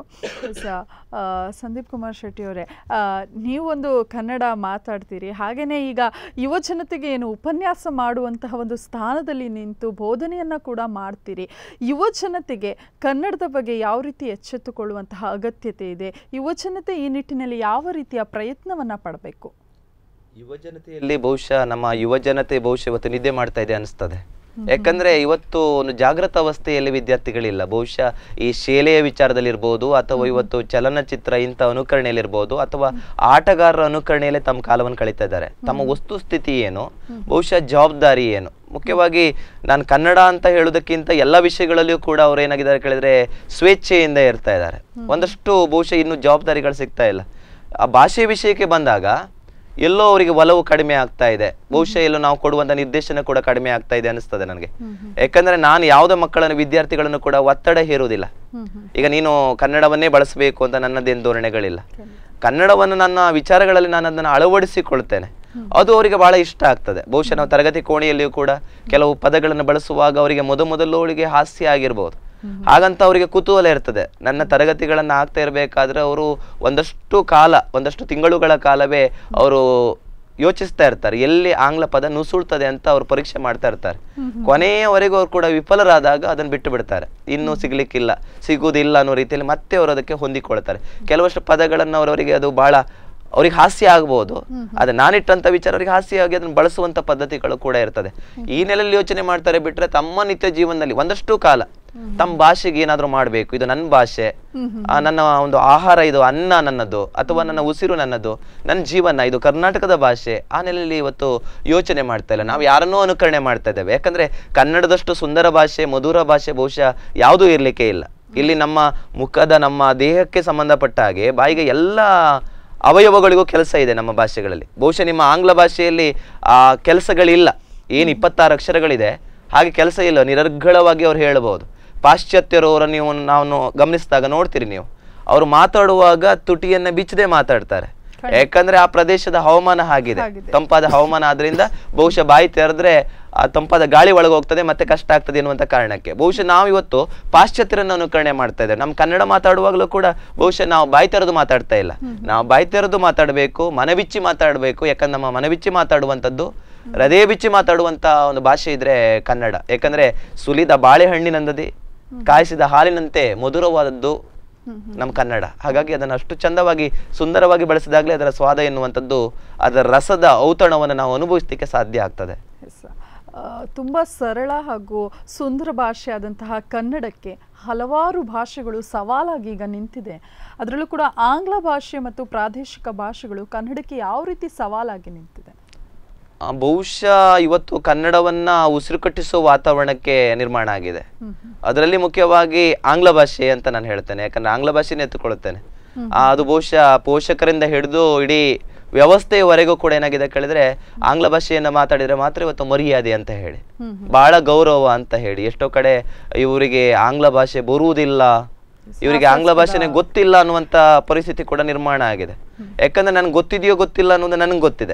ನನ್ನ ಮನಸ್ಸಿಗೆ ಗೊತ್ತಿದೆ. ನಾನೇನು ಬಳಸ್ತೇನೆ, ಅದ್ರ ಬಗ್ಗೆ ಅವರಿಗೆ ಎಷ್ಟೋ ಜನರಿಗೆ ಅರ್ಥ ಇಲ್ಲ. ಎಷ್ಟೋ ಸಲ ತಾಸರಕ್ಕೊಳಗಂತ ಪರಿಸ್ಥಿತಿ ಇದೆ. ಅಂಥದ್ರಲ್ಲಿ ಬಹುಶಃ ನಾವು ಆಂಗ್ಲ ಭಾಷೆಯಲ್ಲಿ ಒಂದು ಶ್ರೀಮಂತ ಭಾಷೆಯನ್ನ ಮಾತಾಡಿದ್ರೆ ಆ ನಮ್ಮ ವ್ಯಕ್ತಿತ್ವದಲ್ಲೂ ಕೂಡ ಶ್ರೀಮಂತಿಕೆ ಬರ್ತದೆ. ನಮ್ಮ ಭಾಷಾ ಶೈಲಿಯಲ್ಲೂ ಕೂಡ ಒಂದು ಶ್ರೀಮಂತಿಕೆ ಬರ್ತದೆ ಎನ್ನುವಂಥ ಅಲ್ಪ ಅಭಿಪ್ರಾಯಗಳು ಬಹುಶಃ ಜನರಲ್ಲಿ ಬಹಳ ಹೆಚ್ಚಿದೆ. ಏನು ಮಾತಾಡ್ಲಿ, ಅದು ಕೂಡ ಸರಿಯಾದಂತ ಆಂಗ್ಲ ಭಾಷೆಯು ಕೂಡ ಆಗಿರುವುದಿಲ್ಲ. ಅದು ಕೂಡ ಕಲಬೆರಕೆ ಆಗಿರ್ತದೆ. ಅಂತ ಭಾಷೆಯನ್ನು ಬಳಸಿ ಹಾಳು ಮಾಡುವುದಕ್ಕಿಂತ ನಮ್ಮ ಸುಂದರವಾದ ಭಾಷೆಯನ್ನು ಬಳಸ್ಕೊಂಡು ಅದನ್ನು ನಾವು ಅನುಭವಿಸಿದ್ರೆ ಎಷ್ಟು ಚಂದ ಇದೆ ಎಷ್ಟು ಸ್ವಾದ ಇದೆ. ಆ ನೆಲೆಯಲ್ಲಿ ನಾವು ಯೋಚನೆಯನ್ನ ಮಾಡ್ತಾ ಇಲ್ಲ. ಬಹುಶಃವಾಗಿ ನಾವು ಒಂದು ರೀತಿಯಲ್ಲಿ ಭಾಷೆಯನ್ನು ಮರೆತು ಇನ್ನೊಂದು ಭಾಷೆಯನ್ನು ಹಾಳು ಮಾಡುವ ನೆಲೆಯಲ್ಲಿ. ಬಹುಶಃ ಪಾಶ್ಚಾತ್ಯರು ಕೂಡ ಆ ಭಾಷೆಯನ್ನು ಆಂಗ್ಲ ಭಾಷೆಗಿಂತ ಬಹುಶಃ ನಮ್ಮ ಭಾರತೀಯರೇ ಆ ಭಾಷೆಯನ್ನು ಚಂದ ಮಾತಾಡ್ತಾರೆ. ಆಂಗ್ಲ ಭಾಷೆಯವರಿಂದಲೇ ಆಂಗ್ಲ ಭಾಷೆ ಹಾಳಾಗ್ತಾ ಇದೆ. ಭಾರತೀಯರಿಂದ ಆಂಗ್ಲ ಭಾಷೆ ಸ್ಪಷ್ಟವಾಗಿ ಉಚ್ಚಾರ ಆಗ್ತಾ ಇದೆ. ನಿಜವಾಗಿ ಆಂಗ್ಲ ಭಾಷೆ ಏನೆನ್ನುವುದು ಬಹುಶಃ ಭಾರತೀಯರಿಂದಲೇ ಚಂದ ಸ್ಪಷ್ಟವಾಗಿ ಅರ್ಥ ಆಗ್ತದೆ. ಅವರಿಂದ ಅರ್ಥ ಆಗ್ತಾ ಇಲ್ಲ. ಹಾಗಂತ ಕನ್ನಡ ಭಾಷೆ ಮಾತ್ರ ಇದರ ನಡುವೆ ನಲುಗಿ ಹೋಗಿದೆ. ಈಚೆ ಕಡೆಯಲ್ಲಿ ತುಳುನಾಡು ಅಂತ ಹೇಳಿಕೊಂಡು ತುಳುವರದ್ದು ಭಾಷೆ. ಬಹುಶಃ ಅವರ ಭಾಷೆಯ ನಡುವೆ ಕನ್ನಡ ಏನು ಇಲ್ಲ ಅಂತ ಆಗ್ತದೆ. ಕನ್ನಡದ ಒಂದು ಹಂತದಲ್ಲಿ ಒಂದು ಕನ್ನಡದ ಕೊಲೆಯೇ ಆಗ್ತಾ ಇದೆ. ಆ ಬಳಕೆ ಮಾಡುವಾಗ ಬಹಳ ಸ್ಪಷ್ಟವಾಗಿ ನಾವು ಮಾತಾಡಬೇಕು. ಕೆಲವು ಸಲ ಬರವಣಿಗೆಯಲ್ಲಿ ದೋಷಗಳು ನಾವು ಕಾಣ್ತಾ ಇರ್ತೇವೆ. ಯಾಕಂದ್ರೆ ಕರ್ನಾಟಕದಲ್ಲಿ ಕನ್ನಡದ ದೋಷಗಳು. ಹೌದು. ಬರವಣಿಗೆಯಲ್ಲಿ ದೋಷ ಇರ್ಬೋದು ಉಚ್ಚಾರದಲ್ಲಿ ದೋಷಗಳಿರ್ಬೋದು ಇಂಥವುಗಳಾಗ್ತಾ ಇದೆ. ಬಹುಶಃ ಅದನ್ನೆಲ್ಲ ಸರಿಪಡಿಸ್ಕೊಂಡ್ರೆ ಒಂದು ವ್ಯಾಕರಣ ಭಾಷೆ ಇರ್ಬೋದು ಸುಂದರ ಭಾಷೆ. ಬಹುಶಃ ಗಣಿತಕ್ಕಿರುವಷ್ಟು ಸೂತ್ರ ನಮ್ಮ ಕನ್ನಡಕ್ಕೂ ಕೂಡ ಇದೆ. ನೀವು ಒಂದು ವ್ಯಾಕರಣಗಳನ್ನೆಲ್ಲ ನಾವು ಅಧ್ಯಯನ ಮಾಡ್ತಾ ಹೋದ್ರೆ ಎಷ್ಟು ಬಹಳ ಸುಂದರ ಇದೆ. ಛಂದಸ್ಸಿನಲ್ಲಿ ಇರಬಹುದು ಅಲ್ವಾ? ಗಣನಿಯಮ ವಿಪರ್ಯಾಸದವಳು ಎಣೆ ಹೊಡೆದು ತಾಳದ ಗಣನೆಗೆ ಒಡಂಬಟ್ಟೊಡದುವೆ ರಗಟ ಬಂದಂ. ರಗಳಿಗೆ ಸೂತ್ರ ಕೊಡ್ತಾನೆ. ಎಷ್ಟು ಚಂದ, ಅದನ್ನು ಕೇಳುವಾಗ ಅದನ್ನು ಆನ್, ಆನಂದಿಸುವಾಗಲೇ ಚಂದ ಇರ್ತದೆ. ಅಥವಾ ಕಂದ ಪದ್ಯದ ಬಗ್ಗೆ ಹೇಳುತ್ತಾನೆ. ಪುರಬಾಣ ವೈನಿ ಶರಗಣ ಮಿರೆ ನಾಲ್ಕೊಂ ಪಾದ್ದೊಳೋಜೆ ಯುಗ್ಮಗಳೊಳ್ ಪನ್ನೆರಡು ಇಪ್ಪತ್ತೋಳಿಯೆ, ಪನ್ನೆರಡು ಇಪ್ಪತ್ತಾಗೆ ಮಾತ್ರೆಗಳು ಮೃಗನಯನೆ ಅಂತ ಹೇಳ್ತಾನೆ. ಎಷ್ಟು ಚಂದವಾದದ್ದು, ಎಷ್ಟು ಸುಂದರವಾದದ್ದು. ಬಹಳ ಚಂದವಾಗಿ ನಮ್ಮ ಜನಪದ ಹಿಡಿದು ಇಲ್ಲಿಯವರೆಗೂ ಕೂಡ ಆ ಮಧುರವಂತ ಸಾಹಿತ್ಯದ ಸೊಗಡು ನಮ್ಮ ಕನ್ನಡದಲ್ಲಿದೆ. ಹಾಗಂತ ನಾವು ಅದನ್ನೆಲ್ಲ ಮಾಡಿ ಇಲ್ಲದನ್ನ ಸೃಷ್ಟಿ ಮಾಡಲಿಕ್ಕೆ ಹೋಗ್ತೇವೆ ನಾವು. ಇದ್ದದನ್ನು ಉಳಿಸ್ಕೊಳ್ಳೋದಿಲ್ಲ. ಇಲ್ಲದನ್ನ ನಾವು ಕಾಣ್ತೇವೆ. ಯಾಕಂದ್ರೆ ನಾವು ಕರಿಬಂಡೆಗೆ ನಾವು ಬಣ್ಣ ಕೊಡಲಿಕ್ಕೆ ಹೋಗ್ತಾ ಇದ್ದೇವೆ. ಕತ್ತಲಲ್ಲಿ ಏನೋ ನಾವು ಹುಡುಕ್ಲಿಕ್ಕೆ ಹೋಗ್ತಾ ಇದ್ದೇವೆ. ಇಂಥ ಪ್ರಯತ್ನಗಳಾಗ್ತದೆ. ಯಾಕಂದರೆ ಸುಂದರವಂತ ಭಾಷೆ ನಮ್ಮ ಮುಂದಿದೆ ಅದನ್ನು ಬಳಸ್ಕೊಂಡು, ಉಳಿಸ್ಕೊಂಡು ಹೋಗುವಂಥದ್ದು ನಮ್ಮೆಲ್ಲರ ಜವಾಬ್ದಾರಿ ಕೂಡ ಆಗಿದೆ. ಆ ನಾವು ಪ್ರಯತ್ನ ಮಾಡ್ತಾ ಇಲ್ಲ ಅನ್ನೋದು ಒಂದು ರೀತಿ ಬೇಸರದ ಸಂಗತಿ ಕೂಡ. ಹತ್ತು ವರ್ಷಗಳ ಹಿಂದೆ ಬಂದಂತಹ ಸಾಹಿತ್ಯ ಪುಸ್ತಕಗಳಿರ್ಬೋದು, ಕತೆ ಕಾದಂಬರಿಗಳಿರ್ಬೋದು, ಅಥವಾ ಈಗ ಏನು ಬರುತ್ತಿರುವಂತಹ ಕತೆ ಕಾದಂಬರಿ, ಸಾಹಿತ್ಯ, ಈ ಒಂದು ದೃಷ್ಟಿಯಲ್ಲಿ ನೋಡ್ಲಿಕ್ಕೆ ಹೋದರೆ ಕನ್ನಡವನ್ನು ಉಳಿಸುವಲ್ಲಿ ಸಾಹಿತ್ಯ ಅಥವಾ ಕತೆ ಕಾದಂಬರಿ ಪುಸ್ತಕಗಳು ಕನ್ನಡ ಭಾಷೆಯಲ್ಲಿ ಏನು ಪ್ರಕಟವಾಗುತ್ತೆ, ಎಷ್ಟರ ಮಟ್ಟಿಗೆ ಪ್ರಯತ್ನ ಪಡ್ತಾ ಇದೆ? ಖಂಡಿತ ಆ ನೆಲೆಯಲ್ಲಿ ನಾವು ವಿಫಲರಾಗಿದ್ದೇವೆ ಅಂತ ಹೇಳ್ತದೆ ಕನ್ನಡಿಗರು. ಯಾಕಂದ್ರೆ ಇವತ್ತು ಏನು ಆಸಕ್ತರಿದ್ದಾರೆ ಪ್ರೇಕ್ಷಕರಿದ್ದಾರೆ ಅವ್ರಿಗೆ ಸರಿಯಾಗಿ ಸಾಹಿತ್ಯ ರಚನೆ ಆಗ್ತಾ ಇದೆ. ಒಂದು ಹಂತದಲ್ಲಿ ಆಗಿನ ಸಾಹಿತಿಗಳು ಏನ್ ಮಾಡ್ತಾ ಇದ್ರು ಕೇಳಿದ್ರೆ ಒಂದು ಗುಣಮಟ್ಟದ ಸಾಹಿತ್ಯವನ್ನ ಯೋಚನೆ ಮಾಡ್ತಾ ಇದ್ರು. ನಮಗೆ ಇಡೀ ಕಾದಂಬರಿಗಳ ಸಾಮ್ರಾಟ ಅನಕ್ರ ಇರ್ಬೋದು. ಅಥವಾ ಶಿವರಾಮ್ ಕಾರಂತರ ಇರ್ಬೋದು, ನಮ್ಮ ಮಲೆಗಳಲ್ಲಿ ಮದುಮಗಳು ಕಾನೂರು ಹೆಗ್ಗಡತಿಯ ಕರ್ತರಾದಂಥ ಕುವೆಂಪು ಅವರು ಇರ್ಬೋದು ಅವರೆಲ್ಲರ ಸಾಹಿತ್ಯ ಅಥವಾ ಗಿರೀಶ್ ಕಾರ್ನಾಡರ ನಾಟಕಗಳಿರ್ಬೋದು, ಅದರಲ್ಲಿ ನಿಜವಂತ ಒಂದು ಸುಂದರತೆ ಇದ್ದಿತ್ತು, ಒಂದಷ್ಟು ಸ್ವಾದತೆ ಇದ್ದಿತ್ತು, ಒಂದಷ್ಟು ಸತ್ಯ ಇದ್ದಿತ್ತು. ಅದನ್ನು ಒಪ್ಕೊಳ್ತಾ ಹೋದರೆ, ಓದ್ಕೊಳ್ತಾ ಹೋದರೆ ನಾವೇ ಅಲ್ಲೇ ಹೋಗ್ತಾ ಇದ್ದೇವೆ. ಕಾಡೊಳಗೆ ನಾವು ಹೋಗ್ತಾ ಇದ್ದೇವೆ ಅನ್ನುವಂಥ ಒಂದು ಅನುಭವ ಆಗ್ತದೆ. ಅದರಲ್ಲಿ ನಾವು ಕೂಡ ಒಂದು ಪಾತದಾರಿಗಳು ಅನ್ನುವಂಥ ಒಂದು ಅನುಭವ ನಮ್ಗೆ ಆಗ್ತಾ ಇತ್ತು. ಬಹುಶಃ ಇವತ್ತಿನದ್ದು ಕೇವಲ ಏನೋ ಹೊಸತನ. ಅಂದ್ರೆ ಬಹುಶಃ ಗಾಳಿ ಕುದುರೆ ಬೆನ್ನನ್ನು ಏರ್ತಾ ಇದ್ದೇವೆ ನಾವು ಬಿಸಿಲು ಕುದುರೆ ಬೆನ್ನನ್ನು ಏರ್ಕೊಂಡು ಹೋಗುವ ಹಾಗೆ. ಜನರಿಗೆ ಏನ್ ಬೇಕೋ ಅದನ್ನು ಕೊಡ್ತಾ ಇದ್ದೇವೆ. ಜನರು ಅದನ್ನ ಆಸ್ವಾದಿಸಬೇಕಾದ್ರೆ ಒಳ್ಳೆ ಗುಣಮಟ್ಟದಿರಬೇಕು. ಅದರಲ್ಲಿ ಏನೋ ಒಂದು ಸತ್ವ ಇದ್ರೆ ಮಾತ್ರ ಆ ಪುಸ್ತಕವನ್ನು ಓದ್ತಾರೆ. ಪುಸ್ತಕಗಳು ಸಾವಿರ ಕೋಟಿ ಪುಸ್ತಕಗಳಿರ್ಬೋದು ನಮ್ಮ ಸಾಹಿತ್ಯದಲ್ಲಿ. ಕನ್ನಡದಲ್ಲಿ ವಿಪುಲ ಸಾಹಿತ್ಯ ಇದೆ. ಹಾಗಂತ ಗುಣಮಟ್ಟದ ಸಾಹಿತ್ಯ ಇದ್ರೆ ಖಂಡಿತ ಓದ್ತಾರೆ. ಆದ್ರೆ ಓದುಗರ ಸಂಖ್ಯೆ ಹೆಚ್ಚಾಗಬೇಕು. ಇವತ್ತು ಓದುಗರ ಸಂಖ್ಯೆ ಇಲ್ಲ. ಬಹುಶಃ ವಿದ್ಯಾರ್ಥಿ ವಿದ್ಯಾರ್ಥಿಗಳಿಗೆ ಪಠ್ಯಪುಸ್ತಕ ಓದೋದು ಬಹಳ ಕಷ್ಟ ಆಗಿದೆ ಇವತ್ತು. ಪಠ್ಯಪುಸ್ತಕವನ್ನು ಕೂಡ ಯಾರು ಮೊದಲೇ ಓದುವುದಿಲ್ಲ. ನಾವು ಯಾವಾಗ ಪಾಠ ಮಾಡ್ತೇವೆ ಆವಾಗ ಓದುವಂಥ ಒಂದು ಪರಂಪರೆ ಇದೆ. ಅದರಲ್ಲಿ ಏನಿದೆ ಎನ್ನುವುದನ್ನ ಮೊದಲೇ ಓದ್ಕೊಂಡ್ರೆ ಅದನ್ನು ಅನುಭವಿಸುವಂತ ಒಂದು ಕಲೆ ಕೂಡ ವಿದ್ಯಾರ್ಥಿ ದೇಶದಲ್ಲಿ ನಮ್ಗೆ ಬಂದ್ರೆ ನಿಜವಾಗಿ ಅನುಭವಿಸ್ಬೇಕು. ನಮಗೆ ಗುರುಗಳಂತ ರೇಖಾ ಬನ್ನಡಿ ನಾನು ಯಾವತ್ತೂ ಹೇಳ್ತಾ ಇರ್ತೇನೆ. ಯಾಕಂದ್ರೆ ಅವರು ಪುಸ್ತಕದ ಓದಿನ ಬೆಲೆಯಲ್ಲಿ ಯಾವಾಗಲೂ ಹೇಳ್ತಾ ಇರ್ತಾರೆ. ನೀವೊಂದು ಅವರ ಒಂದು ಗಂಟೆಯ ಬೋಧನೆಯಲ್ಲಿ ನೀವು ಈ ಕಾದಂಬರಿಯನ್ನು ಓದಿಯಂತೆ. ಈ ಕಾದಂಬರಿಯನ್ನು ಓದಿಯಂತೆ. ಅವ್ರು ಹೀಗೆ ಹೇಳಿದ್ರು, ಆ ಓದುವ ಹವ್ಯಾಸವನ್ನ ಅವ್ರು ತರ್ತಾ ಇದ್ರು. ವಿದ್ಯಾರ್ಥಿಗಳಲ್ಲಿ ಆ ಓದುವ ಆಸಕ್ತಿ, ನಾವು ಹೋಗ್ಬೇಕಿತ್ತು. ನಾವು ಅಲ್ಲಿ ಗ್ರಂಥಾಲಯಕ್ಕೆ ಹೋಗಿ ಆ ಪುಸ್ತಕವನ್ನು ಕಾಡಿಬೇಡಿ ಆದ್ರೂ ತಗೊಂಡು ಬರಬೇಕಿತ್ತು. ನಾವು ಓದ್ತಾ ಇದ್ವು. ಆ ಓದುವ ಹವ್ಯಾಸ ಬಹುಶಃ ಇವತ್ತು ನಮಗೆ ಕಡಿಮೆ ಆಗಿದೆ. ಪುಸ್ತಕಕ್ಕಿಂತ ಓದುಗರಿಲ್ಲ ಇವತ್ತು. ಕನ್ನಡದ ಪುಸ್ತಕ ಓದುಗರಿಲ್ಲ ಆಗಿದೆ. ಹಾಗಾಗಿ ಎಲ್ಲಾ ರೀತಿಯಲ್ಲಿ ಮಾಧ್ಯಮ ಮುಖ್ಯವಾಗಿ ಯಕ್ಷಗಾನ ಕೂಡ ಹಾಗಾಗಿದೆ. ಒಂದು ಕಾಲದಲ್ಲಿ ಪೌರಾಣಿಕ ಯಕ್ಷಗಾನಗಳು, ಪುರಾಣಗಳು, ಪುರಾಣವನ್ನು ಉಳಿಸುವಂಥದ್ದು ಇವತ್ತು ನಮ್ಮ ಏನು ಪುಣ್ಯ ಕಥನಗಳಿದೆ ಅದೆಲ್ಲ ಯಕ್ಷಗಾನದ ಮೂಲಕ ಉಳಿತಾ ಇತ್ತು. ಇವತ್ತು ಯಕ್ಷಗಾನವು ಕೂಡ ಆ ನೆಲೆಯಲ್ಲೂ ಕೂಡ ವಿಫಲವಾಗಿದೆ, ಈಚೆ ಕಡೆ ಬಂದಿದೆ. ಯಾಕಂದ್ರೆ ನಮ್ಮ ಪ್ರೇಕ್ಷಕರು ಪುರಾಣವನ್ನು ಯಾರು ಕೇಳುವುದಿಲ್ಲ, ಯಾರು ನೋಡುವುದಿಲ್ಲ. ಪುರಾಣದ ಬಗ್ಗೆ ಗೊತ್ತಿಲ್ಲ. ಇವತ್ತು ಕೂಡ ರಾಮನಿಗೂ ಸೀತೆಗೂ ಸಂಬಂಧ ಗೊತ್ತಿಲ್ಲದಂತ ಪರಿಸ್ಥಿತಿ ನಿರ್ಮಾಣ ಆಗಿದೆ. ಅದನ್ನ ಅರ್ಥ ಮಾಡ್ಕೊಳ್ಳಿಕ್ಕೆ ಹೋಗೋದಿಲ್ಲ. ಹೊಸ ಕತೆ. ಎಲ್ಲೋ ಒಂದು ಬಾಹುಬಲಿ ಬಂತು ಅಂತ ಹೇಳಿದ್ರೆ ಇಲ್ಲಿ ಯಕ್ಷಗಾನಕ್ಕೆ ನಾವು ತಕೊಂಡು ಬರ್ತೇವೆ. ಅಲ್ಲಿ ಅಣ್ಣಯ್ಯ ಚಲನಚಿತ್ರ ಇದ್ರೆ ಇಲ್ಲಿ ಈಶ್ವರಿ, ಪರಮೇಶ್ವರಿ ಆಗ್ತದೆ. ಅಂತ ನೆಲೆಯಲ್ಲಿ ನಾವು ಮಾಡ್ತಾ ಇದ್ದೇವೆ. ಯಾಕಂದ್ರೆ ಪ್ರೇಕ್ಷಕರಿಗೆ ಸರಿಯಾಗಿ ನಾವು ಕುಣಿತಾ ಇದ್ದೇವೆ. ಹಾಗಾಗಿ ಒಂದು ಸ್ವತಂತ್ರವಾಗಿ, ಸುಂದರವಾಗಿ ಒಂದು ವ್ಯವಸ್ಥೆಯನ್ನು ನಾವು ಮಾಡಿದರೆ ಖಂಡಿತ ಅದನ್ನು ಓದುವಂಥ ಒಂದು ಸಮುದಾಯ ಖಂಡಿತ ರಚನೆ ಆಗ್ತದೆ. ಇವತ್ತು ಭೈರಪ್ಪನವರ ಕಾದಂಬರಿಯನ್ನು ಒಂದಷ್ಟು ಜನ ಇಷ್ಟಪಡ್ತಾನೆ ಇದ್ದಾರೆ. ಒಂದು ವರ್ಗವೇ ಇದೆ. ಯಾಕಂದರೆ ಅವರು ಬಹಳ ಅದರ ಬಗ್ಗೆ ಬಹಳ ಆಳವಾಗಿ ಸಂಶೋಧನೆ ಮಾಡ್ತಾರೆ. ಒಂದು ಕಾದಂಬರಿಯನ್ನು ಬರೀಲಿಕ್ಕೆ ಒಂದು ವರ್ಷ ಅವ್ರು ತಗೊಳ್ತಾರೆ. ಆ ಸಮುದಾಯದಲ್ಲಿರ್ಬೋದು, ಆ ವಿಚಾರದಲ್ಲಿರ್ಬೋದು ಬಹಳ ಆಳವಾಗಿ ಅಧ್ಯಯನ ಮಾಡಿ ಅವರು ಒಂದೊಂದೇ ಕಾದಂಬರಿಯನ್ನು ಬರೀತಾರೆ. ಹಾಗಾಗಿ ಆ ಕಾದಂಬರಿಯಲ್ಲಿ ಒಂದು ಶ್ರಮ ಇದೆ. ಪರಿಶ್ರಮ ಇದೆ. ಇವತ್ತು ಇವತ್ತು ಕೂತ್ಕೊಂಡು ನಾಳೆ ಬರೆಯುವನು ಕಾದಂಬರಿಕಾರ ಆಗ್ತಾನೆ. ಒಂದು ಏನೋ ನಾಲ್ಕು ಸಾಲುಗಳನ್ನು ಬರೆದವ, ಕವಿತೆ ಬರೆದವನಾಗ್ತಾನೆ. ಹಾಗಾಗಿ ಇವತ್ತು ಈ ಥರದಲ್ಲೇ ಆಗಿದೆ. ಅವನು ಗುರುತಿಸ್ತಾರೆ. ದೊಡ್ಡದಾಗಿ ಹೇಳ್ತಾರೆ. ಇವತ್ತು ಎಲೆಮರೆಕಾಯಿಯಾಗಿ ಎಷ್ಟೋ ಜನ ಸಾಧಕರಿದ್ದಾರೆ. ಎಷ್ಟೋ ಶ್ರಮಗಳಿದ್ದಾರೆ. ಅಂಥವ್ರನ್ನ ಈ ಮಾಧ್ಯಮ ಗುರುತಿಸ್ತಾ ಇಲ್ಲ. ಅವರನ್ನು ನಿಜವಾಗಿ ಖಂಡಿತ ಗುರುತಿಸಬೇಕು. ಆಮೇಲೆ ಅವರನ್ನು ಮುಂದಕ್ಕೆ ತರುವಂಥ ಪ್ರಯತ್ನಗಳು ಮಾಡಬೇಕು. ಆ ಯುವ ಪ್ರತಿಭೆಗಳನ್ನು ಪುರಸ್ಕರಿಸಬೇಕು. ಅವ್ರಿಗೆ ಒಳ್ಳೆಯ ದಾರಿಯನ್ನು ಕೊಟ್ಟರೆ ಖಂಡಿತ ಅವರು ಮುಂದಕ್ಕೆ ಬರಲಿಕ್ಕೆ ಸಾಧ್ಯ ಇದೆ. ಯಾಕಂದರೆ ಅವರ ಪುಸ್ತಕಗಳನ್ನು ಕೂಡ ಮುದ್ರಣ ಮಾಡಲಿಕ್ಕೆ ವ್ಯವಸ್ಥೆಗಳಿಲ್ಲ. ಇವತ್ತು ಪುಸ್ತಕ ಬರೀತಾರೆ ಅವರು ಇಟ್ಟುಕೊಳ್ತಾರೆ. ಅದನ್ನ ಪ್ರಕಾಶಕರು ಕೂಡ ಇಲ್ಲ. ಯಾರು ಆ ಪ್ರಕಾಶಕರು ಆ ಪುಸ್ತಕ ವಹಿಸಿಕೊಳ್ತಾರೆ? ಅದ್ರ ಗುಣಮಟ್ಟ ಏನು ಅಂತ ಯಾರಿಗೆ ಗೊತ್ತಿದೆ? ಹಾಗಾಗಿ ಇಂಥ ಪರಿಸ್ಥಿತಿ ಆ ಪುಸ್ತಕದ ವಿಷಯದಲ್ಲೂ ಕೂಡ ಬಂದಿದೆ. ಓದುಗರು ಕೂಡ ಇಲ್ಲ ಈಚೆ ಕಡೆ ಪುಸ್ತಕ ಮುದ್ರಣ ಆಗ್ಲಿಕ್ಕೆ ಕೂಡ ಕಷ್ಟ ಆಗ್ತಾ ಇದೆ. ಆ, ಒಂದು ಕಡೆ ಆ, ಕನ್ನಡವನ್ನೇ ಬಳಸೋದಿಲ್ಲ ಕನ್ನಡ ಬಂದರೂ ಕೂಡ ಮಾತನಾಡೋದಿಲ್ಲ. ಮನೆಯಲ್ಲಿ ಆ, ಕನ್ನಡ ಮಾತಾಡಿದರೂ ಕೂಡ ಕಷ್ಟಪಟ್ಟು ಕನ್ನಡ ಮಾತಾಡ್ತಾರೆ. ಹೊರಗಡೆ ಹೋದರೆ ಕನ್ನಡ ಬರದೇ ಇರುವಂತಹ ನಾಟಕೀಯ ಪ್ರದರ್ಶನಗಳು ಈಗ ಕಣ್ಣೆದ್ರಿಗೆ ಕಾಣ್ತಾ ಇದೆ. ಇನ್ನೊಂದು ಕಡೆ ಎಣ್ಣೆ ತುಪ್ಪದ ಮಿಶ್ರಣ ಥರ ಆಚೆ ಕನ್ನಡವೂ ಅಲ್ಲ ಈಚೆ ಇಂಗ್ಲೀಷು ಅಲ್ಲ. ಇವರಿಗೆ ಏನು ಹೇಳ್ತೀರಾ ನೀವು? ಅದು ಭಾಳ ಕಷ್ಟ. ಬಹುಶಃ ಇಂಥವರಿಂದಲೇ ಹಾಳಾಗೋದು ಅಂತ ಅನಿಸ್ತದೆ ನನಗೆ. ಭಾಷೆ ಇರ್ಬೋದು ಒಂದು ವ್ಯವಸ್ಥೆ ಇರ್ಬೋದು ಇಂಥವ್ರಿಂದಲೇ ಹಾಳಾಗುವಂಥದ್ದು. ಯಾಕಂದ್ರೆ ಆ ನಮ್ಮತನವನ್ನು ಮರ್ತು ಬಿಟ್ಟವರು ಅಂತ ನಂಗೆ ಅನಿಸ್ತದೆ ಆ ಏನು ನಾಟಕೀಯ ಮಾಡೋದು ನಮ್ಮ ಏನು ಅಂತರ್ಗತವಾಗಿ ಏನಿದೆ ಅದು ಎನ್ನುವಂಥದ್ದು ಹೊರಗೆ ಬರಬೇಕು. ಅಂತರ್ಗತವಂತ ಸತ್ತು ಹೊರಗೆ ಬರಬೇಕು. ಒಳಗಿದ್ದ ವಿಚಾರ ಯಾವತ್ತೂ ಹೊರಗೆ ಬರಬೇಕು. ನಾಟಕೀಯವಾಗಿರುವ ಅಂಥದ್ದಲ್ಲ ವ್ಯಕ್ತಿಗೆ ಮುಖ ಒಂದಾದರೂ ಸಹ ವ್ಯಕ್ತಿತ್ವ ವ್ಯಕ್ತಿತ್ವಕ್ಕೆ ಹಲವು ಮುಖ ಅಂತ ಹೇಳ್ತಾರೆ. ಮುಖವಾಡದ ವೇಷವನ್ನು ಧರಿಸೋದನ್ನು ನಾವು ಕಳಿಸ್ಬೇಕು. ಎಷ್ಟೋ ಜನ ಏನು ಮಾಡ್ತಾರೆ ಕೇಳಿದ್ರೆ ಜನ ವ್ಯಕ್ತಿ ವ್ಯಕ್ತಿಯನ್ನು ನೋಡಿ ಅವರ ವ್ಯಕ್ತಿತ್ವವನ್ನು ಬದಲಾವಣೆ ಮಾಡ್ಕೊಳ್ತಾರೆ. ಬಹುಶಃ ಮರದಿಂದ ಮರಕ್ಕೆ ಹಾರುವ ಊಸರವಳ್ಳಿ ಹೇಗೆ ತನ್ನ ಬಣ್ಣವನ್ನು ಬದಲಾಯಿಸಿಕೊಳ್ತದೋ ಹಾಗೆ ವ್ಯಕ್ತಿಗಳಲ್ಲಿ ವ್ಯಕ್ತಿ ಕೂಡ ಇದ್ದಂತೆ ಇರುವ ಹಾಗೆ ಇರಬೇಕು. ಯಾಕಂದ್ರೆ ಅವನಿಗೆ ಆಂಗ್ಲ ಭಾಷೆಯನ್ನು ಮಾತಾಡಿದ್ರೆ ಮಾತ್ರ ಬಹುಶಃ ಇವತ್ತು ಪರಕೀಯನೊಬ್ಬ ನಮ್ಮ ಆ ಮಾರ್ಗದಲ್ಲಿ ಬಂದ ಅಂತ ಆದ್ರೆ ಬಹುಶಃ ಕನ್ನಡಿಗರಾದಂಥ ನಮಗೆ ಆಂಗ್ಲ ಭಾಷೆ ಬರೆದಿದ್ರು ಸಹ ನಾವು ಹೋಗಿ ಅವನಲ್ಲಿ ಆಂಗ್ಲ ಭಾಷೆಯಲ್ಲಿ ಮಾತಾಡಿ ಅವನನ್ನ ಪರಿಚಯ ಮಾಡಿಕೊಡೋದು ಮತ್ತೊಂದು ರೀತಿಯಲ್ಲಿ ಮಾಡ್ತೇವೆ. ಬಹುಶಃ ಆ ಕೆಲಸವನ್ನು ನಾವು ಮಾಡದೆ ನಮ್ಮ ಕನ್ನಡವನ್ನೇ ನಾವು ಬಳಸ್ಕೊಂಡು ಬಳಸ್ಕೊಂಡಿದ್ರೆ ಅವನು ಕೂಡ ನಮ್ಮ ಜೊತೆಲಿ ಮಾತಾಡಲಿಕ್ಕೆ, ಸಂಬೋಧಿಸಲಿಕ್ಕೆ ನಮ್ಮ ಜೊತೆಲಿ ಸಂಪರ್ಕ ಇಟ್ಕೊಳ್ಳಿಕ್ಕೆ ಪ್ರಯತ್ನ ಮಾಡಬೇಕಾದ್ರೆ ಅವನು ನಮ್ಮ ಭಾಷೆಯನ್ನು ಕಲಿತು ನಮ್ಮ ಜೊತೆಲಿ ಸಂಪರ್ಕ ಮಾಡುವ ಪ್ರಮೇಯ ಮಾಡಬೇಕು. ಬಹುಶಃ ಪಾಶ್ಚಾತ್ಯ ದೇಶಕ್ಕೆ ಹೋದರೆ, ನಾವು ಕನ್ನಡಿಗರಾದಂಥ ನಾವು ಹೋದರೆ ನಮಗೆ ಖಂಡಿತ ಅಲ್ಲಿ ಆಂಗ್ಲ ಭಾಷೆಯಲ್ಲಿದ್ದಂಥ ದೇಶೀಯರು ಕನ್ನಡ ಕಲ್ತ್ಕೊಂಡು ಕನ್ನಡವನ್ನು ಅವರು ಹಾಗೆ ಮಾಡ್ತಾರ? ಅಂತ ಒಂದು ಅವಕಾಶ ಮಾಡಿ ಕೊಡ್ತಾರೆ? ಖಂಡಿತ ಸಾಧ್ಯ ಇದೆಯಾ? ನಮ್ಮ ಭಾಷೆಗೆ ಬರಲಿಕ್ಕೆ ಸಾಧ್ಯ ಇದೆಯಾ? ಇದು ನಮ್ಗೆ ಯಾಕೆ ಅರ್ಥ ಆಗೋದಿಲ್ಲ? ನಾವು ಆ ಪ್ರಯತ್ನವನ್ನು ಮಾಡ್ತಾ ಇದ್ದೇವೆ. ಬಹುಶಃ ಇದರಿಂದಲೇ ಒಂದಷ್ಟು ಮಟ್ಟದಲ್ಲಿ ಕನ್ನಡವನ್ನು ನಾವು ಹಾಳು ಮಾಡ್ಕೊಳ್ತಾ ಇದ್ದೇವೆ.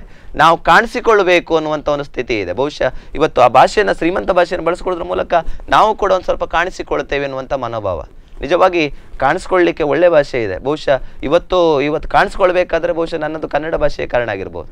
ನಿಮ್ಮ ವಾಹಿನಿಯವರು ಇವತ್ತು ನನ್ನ ಕರಿಬೇಕಾದ್ರೆ ನನ್ನ ಕನ್ನಡ ಭಾಷೆಯ ಕಾರಣ. ಹಾಗಾಗಿ ಒಂದು ಹೇಳಿ ಹೆಮ್ಮೆಯಿಂದ ಹೇಳ್ಕೊಳ್ತೇನೆ. ಕನ್ನಡ ಭಾಷೆಯನ್ನು ನೀವು ಸುಂದರವಾಗಿ ಮಾತಾಡಿದ್ರೆ ಅದಕ್ಕಿಂತ ಸುಂದರವಂತ ಭಾಷೆ ನಮ್ಮ ವಿಶ್ವದಲ್ಲಿ ಜಗತ್ತಿನಲ್ಲಿ ಇರಲಿಕ್ಕೆ ಸಾಧ್ಯ ಇಲ್ಲ. ಅಂತ ಒಂದು ಒಳ್ಳೆಯ ಭಾಷೆ ಕನ್ನಡ. ಹಾಗಾಗಿ ಆ ಕನ್ನಡ ಭಾಷೆಯನ್ನ ಮಿತವಾಗಿ ಬಳಸಿ ಹಿತವಾಗಿ ಬಳಸಿ ಬಹಳ ಸುಂದರವಾಗಿ ಬಳಸಿ ಅದರಿಂದ ನೀವು ಅನುಭವಿಸ್ತೀರಿ ಇನ್ನೊಬ್ಬರಿಗೂ ಕೂಡ ಸಮುದ್ರ ಮತನದ ಕಾಲದ ಹಾಗೆ. ದೇವತೆಗಳು ಹೇಗೆ ಅಮೃತವನ್ನ ಮತಿಸಿದ ನಂತರ ಅಮೃತವನ್ನು ಹೇಗೆ ಒಬ್ರಿಗೊಬ್ಬರು ಉಣಬಡಿಸಿ ತಾವು ಅಮರರಾಗಿ ಇನ್ನೊಬ್ಬರನ್ನು ಹೇಗೆ ಅಮರ ಮಾಡ್ತಾರೋ ಹಾಗೆ ಕನ್ನಡ ಭಾಷೆಯನ್ನು ಕೂಡ ತಾವು ಉಳಿಸಿ ಬೆಳೆಸುವಂತ ಪ್ರಯತ್ನವನ್ನು ಮಾಡಿದ್ರೆ ಖಂಡಿತ ಕನ್ನಡದ ಉಳಿವು ಸಾಧ್ಯತೆ ಇದೆ. ಹಾಗಾಗಿ ಈ ಒಂದು ರೀತಿಯಲ್ಲಿ ನಮ್ಮತನವನ್ನು ಕಾಣಿಸಿಕೊಳ್ಳೋದಕ್ಕಿಂತ ನಮ್ಮ ಭಾಷೆ ಬಹಳ ಮುಖ್ಯ. ಯಾಕಂದ್ರೆ ಕೆಂಪು ಪಟ್ಟಿಯಲ್ಲಿದ್ದಂಥ ಭಾಷೆ ಇದು. ಹಾಗಾಗಿ ಈಗ ನಮ್ಮ ನಮ್ಮ ತನವನ್ನ ಮಾಡೋದಕ್ಕಿಂತ ನಾವೆಲ್ಲ ಒಕ್ಕೊರಲಿನಿಂದ ಕನ್ನಡದ ಉಳಿವಿಗೋಸ್ಕರ ಪ್ರಯತ್ನ ಮಾಡ್ಬೇಕು. ಅನಾವಶ್ಯಕವಾದಂಥ ಕೆಲವು ದಂಧಲೆಗಳನ್ನು ತೆಗಿತಾ ಇದ್ದಾರೆ ಇವತ್ತು ಗಲಭೆಗಳನ್ನು ತರ್ತಾ ಇದ್ದಾರೆ. ಇದರಲ್ಲಿ ರಾಜಕೀಯ ಷಡ್ಯಂತ್ರ ಬಹಳಷ್ಟು ಇರ್ತದೆ. ಆ ನೆಲೆಯಲ್ಲಿ ಯೋಚನೆ ಮಾಡೋದಕ್ಕಿಂತ ಬೆಂಕಿ ಹಚ್ಚುವುದಕ್ಕಿಂತ ಯಾವುದಕ್ಕೆ ಸಮಸ್ಯೆ ಇದೆ ಆ ನೆಲೆಯಲ್ಲಿ ಯೋಚನೆ ಮಾಡ್ಬೋದು. ಯಾಕಂದ್ರೆ ಇವತ್ತು ಕನ್ನಡದ ಬಗ್ಗೆ ಹೆಮ್ಮೆ ಇದೆ. ಶಾಸ್ತ್ರೀಯ ಸ್ಥಾನಮಾನ ಕೂಡ ಕನ್ನಡ ಸಿಕ್ಕಿದೆ. ಆದ್ರೆ ಏನು ಸ್ಥಾನಮಾನ ಸಿಗ್ತಾ ಇದೆ? ಇಲ್ಲಿಯ ಕನ್ನಡದ ಕವಿಗಳಿಗೆ, ಯುವ ಕವಿಗಳಿಗೆ ಏನು ಸಿಗ್ತಾ ಇದೆ? ಯಾವ ರೀತಿಯಲ್ಲಿ ಕನ್ನಡವನ್ನು ಉಳಿಸ್ತಾ ಇದ್ದಾರೆ? ಆ ಪ್ರಯತ್ನ ಎಲ್ಲ ಆಗ್ತಾ ಇದೆ. ಅದು ಎಲ್ಲೂ ಕೂಡ ಕಾಣ್ತಾ ಇಲ್ಲ. ಬಹುಶಃ ಎಲ್ಲೂ ಕಾಣ್ತಾ ಇಲ್ಲ. ಹೇಳ್ಕೊಳ್ಳಿಕ್ಕೆ ಬಹುಶಃ ಇವತ್ತು ಮೊಣಕೈಗೆ ಬೆಲ್ಲ ಹಾಕಿ ನೆಕ್ಕಿ ಅಂತ ಹೇಳುವಾಗ ಅವಕಾಶಗಳನ್ನು ಕೊಟ್ಟಿದ್ದಾರೆ, ಆದರೆ ಬಳಸ್ಕೊಳ್ಳಿಕ್ಕೆ ಅವಕಾಶಗಳಿಲ್ಲ. ಆ ಸ್ಥಿತಿಯಲ್ಲಿ ಇದೆ ನಿಜವಾಗಿ ಇಂಥ ವಿಚಾರದ ಕಡೆಗೆ ನಮ್ಮ ಜನಪ್ರತಿನಿಧಿಗಳು ಪ್ರಯತ್ನ ಮಾಡಬೇಕು. ನಮ್ಮ ಸಂಘಟಕರು ಆ ರೀತಿಯಲ್ಲಿ ಕನ್ನಡದ ಬಗ್ಗೆ, ಉಳಿವಿನ ಬಗ್ಗೆ ಹೋರಾಟ ಮಾಡಬೇಕು. ಅನಾವಶ್ಯಕವಾಗಿ ಬೇಡದ ವಿಚಾರಗಳಲ್ಲಿ ತಮ್ಮತನವನ್ನು ಹಾಳು ಮಾಡಿಕೊಂಡು, ವ್ಯವಸ್ಥೆಯನ್ನು ಹಾಳು ಮಾಡೋದಕ್ಕಿಂತ ಭಾಷೆಯ ಕುರಿತಾಗಿ ಅಭಿಮಾನ ಮತ್ತು ಭಾಷೆಯನ್ನು ಉಳಿಸಿದರೆ ಖಂಡಿತ ಕೆಲವು ತಲೆಮಾರಿನವರೆಗೆ ಭಾಷೆಯನ್ನು ಕೊಂಡೊಯ್ದಂಥ ಒಂದು ಕೀರ್ತಿ ನಮಗೂ ಕೂಡ ಉಳಿಯುತ್ತದೆ. ಆ ನೆಲೆಯಲ್ಲಿ ಪ್ರಯತ್ನ ಮಾಡಬೇಕಾಗಿದೆ. ಈ ಬಗ್ಗೆ ಚರ್ಚೆ ಮುಂದುವರಿಸೋಣ, ಆದರೆ ಅದಕ್ಕೂ ಮುಂಚೆ ಒಂದು ಪುಟ್ಟ ವಿರಾಮ.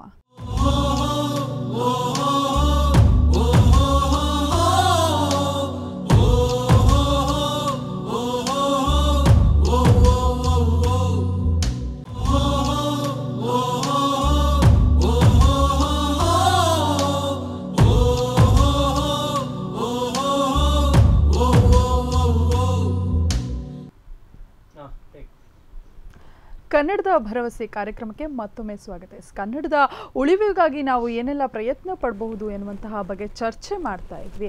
ಎಸ್, ನೀವು ಉಪನ್ಯಾಸ ವೃತ್ತಿಯಲ್ಲಿದ್ದು ಸಾಕಷ್ಟು ವರ್ಷಗಳಾಯಿತು. ಹಾಗೆಯೇ ಒಂದು ಕಾಲೇಜಿಗೆ ಬಂದ ನಂತರ ಭಾಷೆಯ ಆಯ್ಕೆಗಳಿರ್ತದೆ. ಇಂಗ್ಲಿಷ್, ಹಿಂದಿ ಅಥವಾ ಕನ್ನಡ. ಮೂರು ಭಾಷೆಯಲ್ಲಿ ಯಾವುದಾದ್ರೂ ಆಯ್ಕೆ ಮಾಡ್ಬೋದು. ಇಷ್ಟು ವರ್ಷಗಳಲ್ಲಿ ಕನ್ನಡ ಆಯ್ಕೆ ಮಾಡುವಂತಹ ವಿದ್ಯಾರ್ಥಿಗಳ ಸಂಖ್ಯೆ ಹೆಚ್ಚಾಗಿದೆಯಾ ಕಮ್ಮಿ ಆಗಿದೆಯಾ?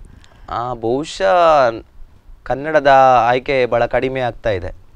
ಯಾಕಂದ್ರೆ ನಾನು ಕೆಲಸ ಮಾಡ್ತಾ ಇರುವಂತಹ ಸಂಸ್ಥೆಯಲ್ಲಿ ಏನ್ ಕೇಳಿದ್ರೆ ಕನ್ನಡ ಭಾಷೆಯ ಒಂದು ರೀತಿಯ ಬಳಕೆ ಬಹಳ ಕಡಿಮೆ ಇದೆ. ಯಾಕಂದ್ರೆ ಅವ್ರ ಮಾತೃಭಾಷೆ ಕೂಡ ಕನ್ನಡ ಆಗಿರುವುದಿಲ್ಲ. ಯಾಕಂದ್ರೆ ಅಲ್ಲಿ ಉರ್ದು ಮಾತಾಡುವವರು ಇಂಥ ಸ್- ಇದರ ವ್ಯವಸ್ಥೆಯಲ್ಲಿ ಇರುವುದರಿಂದ ಒಂದು ಅನಿವಾರ್ಯವಾಗಿ ಅವ್ರ ರಾಷ್ಟ್ರ ಭಾಷೆಯನ್ನು ಬಳಸ್ಕೊಳ್ಳೇಬೇಕು ಬಹುಶಃ ಬಿಹಾರಿ ಈ ಸಮುದಾಯದ ಈ ಭಾಷೆಯನ್ನು ಬಳಸುವವರು ಮುಖ್ಯವಾಗಿ ಕನ್ನಡವನ್ನೇ ಬಳಸ್ತಾ ಇದ್ದಾರೆ. ಮತ್ತೆ ಇತರ ಮುಖ್ಯವಾಗಿ ದೊಡ್ಡ ಮಟ್ಟಕ್ಕೆ ಪದವಿಗೆ ಅಥವಾ ಮಹಾವಿದ್ಯಾಲಯಕ್ಕೆ ಮಟ್ಟಕ್ಕೆ ಯೋಚನೆ ಮಾಡಿದ್ರೆ ಕನ್ನಡವನ್ನ ಮುಖ್ಯವಾಗಿ ಆಯ್ಕೆ ಮಾಡ್ಕೊಳ್ತಾರೆ. ಯಾಕಂದ್ರೆ ಎಲ್ಲ ಕಡೆಯಿಂದಲೂ ಬರುವ ವಿದ್ಯಾರ್ಥಿಗಳಾದ್ರಿಂದ. ಆ ಒಂದು ವಿಭಾಗದಲ್ಲಿ ಸ್ವಲ್ಪ ಎಲ್ಲೋ ಗುಣಮಟ್ಟ ಕಡಿಮೆ ಆಗ್ತಾ ಇದೆ. ಯಾಕಂದ್ರೆ ಈಗ ನಮಗೆ ಹಾಗೆ ಇಲ್ಲ. ನಮ್ಮ ಸಂಸ್ಥೆಯಲ್ಲಿ ಹೊರ ಜಿಲ್ಲೆಗಳಿಂದಲೂ ಬಂದಂತ ವಿದ್ಯಾರ್ಥಿಗಳು ಬಹಳಷ್ಟು ಮಂದಿ ಇದ್ದಾರೆ. ಆ ಆ ನೆಲೆಯಲ್ಲಿ ಕನ್ನಡದ ವಿದ್ಯಾರ್ಥಿಗಳ ಸಂಖ್ಯೆ ಈಗ ಸ್ವಲ್ಪ ಏರ್ತಾ ಇದೆ ಗುಣಮಟ್ಟ ಏರ್ತಾ ಇದೆ. ಯಾಕಂದ್ರೆ ಕನ್ನಡದ ಒಂದು ಸ್ವಾದ ಇದೆ. ಮುಖ್ಯವಾಗಿ ಇತರ ಜಿಲ್ಲೆಗಳಲ್ಲೂ ಕೂಡ ಕನ್ನಡದ ಬಗ್ಗೆ ಬಹಳ ಅಭಿಮಾನ ಇದೆ. ಬಹುಶಃ ಇವತ್ತು ಕನ್ನಡದ ಅಭಿಮಾನ ನಮ್ಮ ಜಿಲ್ಲೆಗೆ ಬಹಳ ಕಡಿಮೆ. ಈ ನೆಲೆಯಲ್ಲಿ ಯೋಚನೆ ಮಾಡಿದ್ರೆ ಬಯಲು ಸೀಮೆಯಲ್ಲಿ ಜಿಲ್ಲೆಗಳಲ್ಲಿ ಕನ್ನಡದ ಬಗ್ಗೆ ಬಹಳ ಅವರಿಗೆ ಅಪಾರ ಗೌರವ ಇದೆ. ಇವತ್ತು ಬಿಜಾಪುರ ಇರ್ಬೋದು ಆ ಕಡೆ ಪ್ರದೇಶದಲ್ಲಿ ಕನ್ನಡವನ್ನು ಅವರು ಧಾರಾಳವಾಗಿ ಬಳಸ್ತಾರೆ ಹೇರಳವಾಗಿ ಬಳಸ್ತಾರೆ. ಆ ನೆಲೆಯಲ್ಲಿ ಯೋಚನೆ ಮಾಡಿದ್ರೆ ನಾವೇ ಕನ್ನಡದ ಬಗ್ಗೆ ಬಳಕೆ ಬಹಳ ಕಡಿಮೆ ಆಗ್ತದೆ ಹಾಗಾಗಿ ವಿದ್ಯಾರ್ಥಿಗಳ ಸಂಖ್ಯೆ ಕೂಡ ಇವತ್ತು ಏರಿಕೆಯನ್ನು ನಾವು ಕಾಣ್ತಾ ಇದ್ದೇವೆ. ಈಗಾಗಲೇ ಅಂತರ್ಜಲ ಯುಗ ಅಂತಲೇ ಹೇಳ್ಬೋದು. ಈ ಒಂದು ಅಂತರ್ಜಲ ಯುಗದಲ್ಲಿ ಮೊಬೈಲ್ ಟೆಸ್ಟಿಂಗ್ ಆಗಿರ್ಬೋದು ಮೊಬೈಲಲ್ಲಿ ಏನು ಸಂದೇಶಗಳನ್ನು ಕಳಿಸುವಾಗ ಕನ್ನಡ ಭಾಷೆನ ಇಂಗ್ಲೀಷ್ನಲ್ಲಿ ಟೈಪ್ ಮಾಡಿ ಅಥವಾ ಏನು ಫೇಸ್ಬುಕ್ ಅಂತಹ ಸಾಮಾಜಿಕ ಜಾಲತಾಣ ಇರ್ಬೋದು, ನಮ್ಮದೇ ಭಾಷೆನ ಬಳಸ್ತೇವೆ, ಆದರೆ ಟೈಪಿಂಗ್ ಇಂಗ್ಲೀಷಲ್ಲಿ ಮಾಡ್ತೇವೆ. ಇದು ಎಷ್ಟು ಕನ್ನಡಕ್ಕೆ ಮಾರಕ? ಅಥವಾ ಕನ್ನಡ ಲಿಪಿ ಬರೆಯುವಾಗ ತಪ್ಪಾಗುತ್ತೆ ಅನ್ನುವಂತಹ ಭಯ ಅನ್ನುವಂತಹ ಒಂದು ಮನೋಭಾವನೆ ಇರ್ಬೋದಾ? ಇದು ಕೇಳಿದ್ರೆ ಒಂದು ವಿಷಯದಲ್ಲಿ ಏನು ಕೇಳಿದ್ರೆ ಕನ್ನಡ ಭಾಷೆ ಆ ಚಲನವಾಣಿಯಲ್ಲಿ ಬಹುಶಃ ಇಲ್ಲದೆ ಇದ್ದಂತ ಪ್ರಮೇಯ ಬಂದಾಗ ಅನಿವಾರ್ಯವಾಗಿ ಆಂಗ್ಲ ಭಾಷೆಯನ್ನ ಅಲ್ಲಿ ಪದಗಳನ್ನು ಸೃಷ್ಟಿ ಮಾಡಬೇಕಾಗ್ತದೆ. ಯಾಕಂದ್ರೆ ಕಳಿಸುವ ಪದಗಳು ಅದು ಆಂಗ್ಲದ್ದೇ ಆದರೂ ಸಹ ಆ ಬಳಸಿದ ಪದ ಮಾತ್ರ ಕನ್ನಡದೇ ಆಗಿರ್ತದೆ. ಆ ನೆಲೆಯಲ್ಲಿ ಒಂದು ಕೆಲಸ ಅಲ್ಲಿ ಆಗ್ತದೆ. ಅವ್ರು ಓದುವಾಗಲೂ ಕೂಡ ಅದು ಕನ್ನಡ ಅಂತಾನೆ ಓದ್ಕೊಳ್ಬೇಕು. ಬಹುಶಃ ಕನ್ನಡವನ್ನ ಬಳಸುವ ರೀತಿಯಲ್ಲಿ ನಾವು ನಿತ್ಯದಲ್ಲಿ ಭಾಷೆ ವಿಷಯದಲ್ಲಿ, ಬರವಣಿಗೆ ವಿಷಯದಲ್ಲೂ ಕೂಡ ವಿಫಲರಾಗ್ತೇವೆ. ಈ ಒತ್ತಕ್ಷರ ಇರ್ಬೋದು, ದೀರ್ಘಾಕ್ಷರ ಇರ್ಬೋದು, ಬಹುಶಃ ಎಷ್ಟೋ ಜನರಿಗೆ ಅನುಸ್ವಾರ ಅನ್ಲಿಕ್ಕೆ ಗೊತ್ತಿಲ್ಲ. ಅದಕ್ಕೆ ಸೊನ್ನೆ ಅಂತ ಹೇಳ್ತಾರೆ. ಇವತ್ತು ಕೂಡ ಎಷ್ಟೋ ವಿದ್ಯಾರ್ಥಿಗಳಲ್ಲಿ ಆ ಅನುಸ್ವಾರ ಎನ್ನುವಂಥದ್ದು ಇಲ್ಲ. ಅದಕ್ಕೆ ಸೊನ್ನೆ ಎನ್ನುವಂಥ ಪದ. ಸೊನ್ನೆ ನಮ್ಮದಲ್ಲ ಅದು ಗಣಿತಕ್ಕೆ ಸಂಬಂಧಪಟ್ಟಿದ್ದು. ನಮ್ಮಲ್ಲಿ ಅನುಸ್ವಾರ ಅಂತಾನೆ ಬಳಸಬೇಕು. ಹಾಗಾಗಿ ಇಂಥ ತಪ್ಪು ಕಲ್ಪನೆಗಳು ಬಹುಶಃ ನಮ್ಮ ನಿತ್ಯ ಬದುಕಿನಲ್ಲಿ ಆಗ್ತಾನೆ ಇರ್ತದೆ. ಈ ಕನ್ನಡದಲ್ಲಿ ಇಂಥ ಪದಗಳ ಬಳಕೆ ಇರ್ಬೋದು. ನಾವು ಕೆಲವು ಸಲ ಎಷ್ಟೋ ಪದಗಳನ್ನು ಹೇಳ್ತೇವೆ. ಬಹುಶಃ ಆ ಬಿಸಿ ನೀರು ಕಾದಿದೆಯ ನೋಡು ಅಂತ ಹೇಳಿ. ಬಿಸಿ ನೀರು ಕಾಯುವುದಲ್ಲ ನೀರು ಕಾಯುವುದು. ನೀರು ಕಾಯುವುದು. ಅಥವಾ ನಮ್ಮ ನಿತ್ಯ ಬಳಕೆಯಲ್ಲಿ ಇವತ್ತು ಹೇಳ್ತೇವೆ ನಾವು ಮನೆಗಳಲ್ಲಿ ಅನ್ನ ಬೆಂದಿದೆಯ ನೋಡು ಅಂತ ಹೇಳಿ. ಅಕ್ಕಿ ಬೆಂದಿದೆಯಾ ನೋಡು ಅಂತ ಹೇಳಿದ್ರೆ ಅದು ಬಹಳ ಸರಿಯಾದಂತ ಪದ. ಅನ್ನ ಬೆಂದ್ರೆ ಬಹುಶಃ ಮತ್ತೆ ಗಂಜಿ ಆಗ್ತದೆ ತಿನ್ಲಿಕ್ಕಾಗುದಿಲ್ಲ ಆದ್ರೂ ನಾವು ಇಂಥ ಪದಗಳನ್ನ ಬಹಳ ಹೆಚ್ಚಾಗಿ ನಾವು ಬಳಸ್ತಾ ಇದ್ದೇವೆ. ತಪ್ಪು ಪದಗಳನ್ನ. ಎಲ್ಲೋ ನಮಗೆ ತಪ್ಪಾಗ್ತದೆ ಅನ್ನುವಂತ ಒಂದು ಭಯ. ನಮಗೆ ಅದರ ಬಗ್ಗೆ ಹಿಡಿತ ಇಲ್ಲ ಅನ್ನುವಂಥ ಭಯ. ಹಾಗಾಗಿ ನಾವು ಆಂಗ್ಲ ಭಾಷೆ ಕಡೆಗೆ ಎರವಲು ಹೋಗ್ತೇವೆ. ಅಥವಾ ಇವತ್ತು ಆಂಗ್ಲವೇ ಸರ್ವ ಆಂಗ್ಲಮಯ ಆಗಿರುವುದರಿಂದಲೇ ಅದೇ ಬಹಳ ಸೂಕ್ತ ಅಂತ ಪ್ರಯತ್ನ ಮಾಡ್ತೇವೆ. ಕನ್ನಡವನ್ನು ಹುಡುಕುದು ಬಹಳ ಕಷ್ಟ ಅನ್ನೋ ನೆಲೆಯಲ್ಲೂ ಕೂಡ ಈ ಪ್ರಯತ್ನ ಮಾಡ್ತಾ ಇದ್ದಾವೆ. ಯಾಕಂದ್ರೆ ಇವತ್ತು ಕನ್ನಡಕ್ಕೆ ಒಂದು ನುಡಿ ಅಂತಾನೆ ಇದೆ. ಕನ್ನಡಕ್ಕೆ ಒಂದು ತಂತ್ರಾಂಶಗಳೇ, ಒಂದಷ್ಟು ವ್ಯವಸ್ಥೆಗಳೇ ಇದೆ.